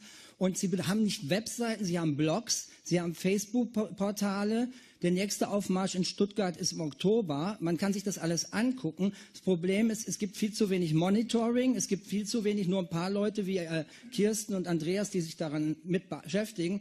Und dann gibt es aber deshalb, es gibt Leute, die hier vorne auch sitzen, die ein gutes Buch geschrieben haben, letztens auch vorgestellt haben. Das heißt, Deutschland treibt sich ab, organisierter Lebensschutz, christlicher Fundamentalismus, Antifeminismus. Da wird gerade im Unrast Verlag 80 Seiten die deutsche Lebensschützerszene akribisch dargestellt, analysiert inhaltlich die Hauptprotagonisten. Was aber auch fehlt, ist nicht nur, dass sie halt hier Kaleb und der Bundesverband Lebensrecht Fährberliner Straße, Ecke Schönhauser ihr Zentralsitz haben, sondern alle Vereine von, von Storch haben um die Ecke in der Zionskirchstraße Setz ihren Ort. Das ist alles fokussiert in Prenzlauer Berg, da kann man Demonstrationen machen, die Nachbarn aufklären etc. Und die andere Struktur rund um die junge Freiheit, die auch zu wenig bedacht wird, das ist die Bibliothek des Konservatismus, direkt neben der Börse, wo die AfD-Führer eingehen, wo die alte intellektuelle Rechte auftritt, wo letztens Stefan Scheil, ein Geschichtsrevisionist, der bis zum Holocaust-Leugnung geht, aufgetreten ist, ein Anti-Antifaschist. Demnächst tritt der Bosbach auf. Die Vera Lengsfeld ist als Dauergast und so weiter. Direkt neben der Börse, die sind etabliert, die waren sogar letztens beim Langen nach der Bibliotheken, gab es so einen kleinen auf, weil das sind solche Probleme, die Strukturen sind da. Es gibt eine kleine Nischenszene, die sich damit beschäftigt, die intellektuelle Rechte, Dieter Stein, der jetzt wegkommt von diesem neue rechte Begriff zu rechtskonservativ. Und das ist der Aspekt, Jetzt die Sache ist die, was ich dir gesagt habe, der Medien, dass ihr genauer gucken müsst, wir genauer gucken müssen, wie die diese Kampagnen machen und das äh, mit diesen ganzen Organisierungen, mit diesen Mail-Sachen, dass wir diese Mediensache auch mehr analysieren und nicht nur von Spam-Mails reden und Webseiten, sondern uns genau angucken, was sie da medial strukturell aufgebaut haben, wie sie funktionieren. Dann können wir sie auch viel besser äh, analysieren und auch entzaubern und sagen, wir müssen, also die Parlamentarierin, dass da nicht auf so eine Massenmail-Aktion immer reagiert werden muss, dass jetzt noch massenhaft Leute eingestellt werden, die jetzt auch jede Mail beantworten, sondern dass man, was Hawks genannt worden ist, ist auch dieses Fremdwort, wo ich immer gedacht habe, wer kennt denn hier im Raum Hawks? Also ich habe mal vor Jahren schon danach gegoogelt, das ist ein Fachbegriff, den hätte Gut, man ich kurz glaube, erwähnen es ist können. angekommen, Ihr Punkt einfach da mit einer ganz großen Aufmerksamkeit äh, und auch Sorgfalt sozusagen, sich die Entwicklung anzugucken. Ein Satz noch? Ein, ein Satz noch. Äh, Andreas hat Linkstrend stoppen genannt. Und diese Struktur, dieser Rechtsaußen-CDUler, die hatten eine großen Konferenz. Einer der führenden Personen bei Linksrechtsstotten ist in der Sängerschaft Borussia und das ist die Sängerschaft vom Innensenator Berlins von Herrn Henkel. Fachmann, das ist Herr Henkel, Ja. Herr Henkels Burschenschaft. Dort trifft sich Sänger, äh, Linksrechtsstoffen, dort trifft sich diese Abtreibungsmord. Die sind halt viel nä näher dran, als es viele denken und wahrhaben wollen. Und das muss einfach auch mal genannt werden. Unbedingt, dürfen. vielen Dank. Da sitzt viel Kompetenz. Nachher beim Glas Orangensaft kann man sich sicher mit Ihnen auch noch Tipps abholen, wo man am besten die nächste Demoroute verlaufen lässt. Vielen Dank. Da war noch eine Wortmeldung. Herr, da vorne, die Dame in, nee, eins weiter, andere Seite, die Reihe stimmt, aber die, ach so, das war in, also so, okay, alles da. Gut, dann bitteschön. Okay. Ich heiße Johannes Supe, ich komme tatsächlich aus der Schweiz, also ich kenne auch unsere Lebensstütze aus der Schweiz. Wie spricht man das jetzt aus? Äh, Marsch fürs Lebe. Aber, aber vielleicht hört ihr es, ich, ich bin da hingezogen. Was ich ehrlich gesagt sagen wollte, Deutschland kenne ich auch. Ähm, ich glaube das ja der Frau Gützko von der GEW wirklich, wirklich, dass der Gewerkschaft GEW das Thema ein wichtiges Anliegen ist. Aber wenn wir uns klar machen, dass wir von ein paar hundert Leuten sprechen, die hier auf der Gegendemonstration sind zu, äh, zum Marsch fürs Leben. Also der Deutsche Gewerkschaftsbund hat ja dann schon noch ein paar mehr Mitglieder. Und ich glaube, wenn wir die stoppen wollen, und das ist durchaus möglich, ich meine, das ist auch geschafft worden beim Dortmunder Nazi-Aufmarsch, nicht von 20.000 Antifaschisten. Aber wenn das möglich werden soll, dann bräuchten wir schon die Hilfe von solchen riesigen Massenorganisationen wie den Gewerkschaften. Und da denke ich, ist noch eine Masse von Potenzial, das man mobilisieren könnte.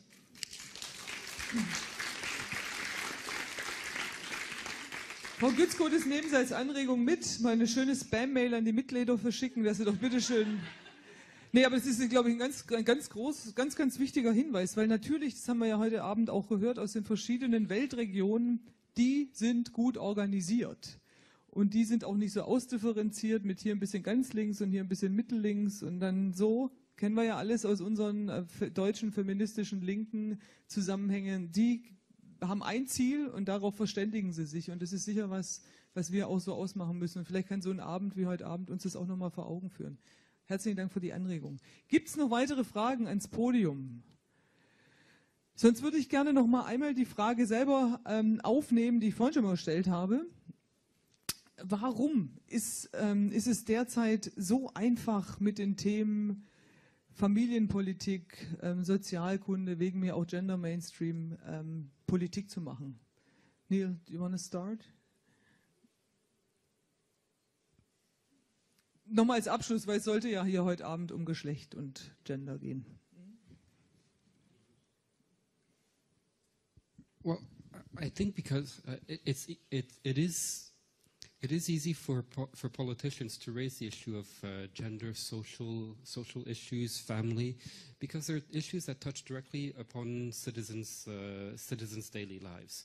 So I think that that's one way to connect with citizens in, in their daily lives. It's also it also gives them the opportunity to talk about something constructive because for the past four years, you can talk about this, and, um, and at least it's a way of engaging in a dialogue with your electors. And it also, at the same time, you avoid talking about austerity and economics and things like this, where there the message is much, much less positive about what you have to give. Um, and then maybe just to conclude on this, I mean, what we've seen is um, uh, on, on the you know ultra conservative side, a, um, a, a fusion of um, of economically very harsh messages with uh, socially very conservative messages, and as Estelle was pointing out, a very skeptical outlook towards anything coming from beyond the borders. And that has fusioned into a very dark movement that we see appearing in different uh, countries around Europe, which is, uh, which, as I said, we, should, we don't need to be afraid, but we need to be vigilant about this. And then finally, maybe just one thing. I've been burning to say this most of the time.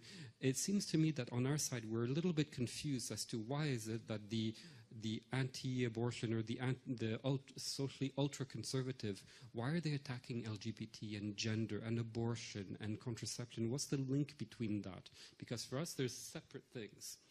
If we take a look again at the um, at the, these anti-choice groups, they do have a certain uh, a certain um, philosophy. Usually, they support three things. The first of them is life, life from the moment of conception until natural death. So this means that they're against abortion, against euthanasia, against certain types of contraception. Secondly, they support family, their traditional family, father, mother, two kids and uh, normal roles, uh, traditional gender roles there. Okay, and that's why they're against gender. They're against sexuality education. Um, they're against assisted procreation, and they're against same-sex marriage because all of those attack those things. And then finally, a third point, which is important for us to, to recall, which hasn't been discussed so much tonight, and that's religious freedom. For them, they want to have the freedom to live their own religion the way they see fit, which is what we all want. But the way that they interpret this is that they should have the freedom to be able to derogate from certain legislation, for example, inequality uh, or, or, other areas, uh, as an expression of their religion. One example is that now a number of groups are asking for, for gynecologists to not only be able to not perform an abortion for reason of conscientious objection, which is fine. You know, you, you don't want to have an abortion by a doctor who doesn't want to give one. Uh, so the, so that, that's fine. They, they want to extend this definition to include that the doctor does not have to declare that he or she is a conscientious objector and does not have to provide a referral to a woman seeking an abortion, that then one is becoming complicit with the act of abortion. So there's a very so there, there a very expansive definition of religious freedom, which is almost to the point of asking for a religious right to discriminate and to, and to derogate from, from equality legislation.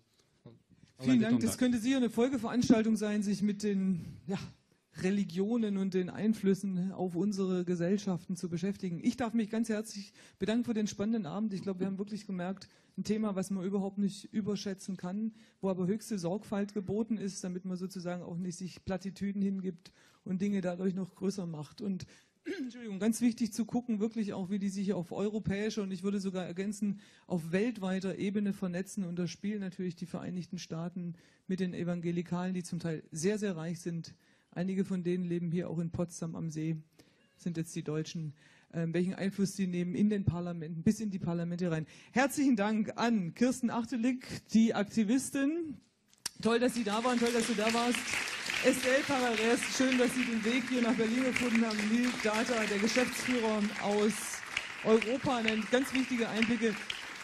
Und Herr Kemper, machen Sie Ihre Studie schnell fertig, damit wir sie dann auch ganz bald lesen können. Ganz toller Input heute Abend. Herzlichen Dank.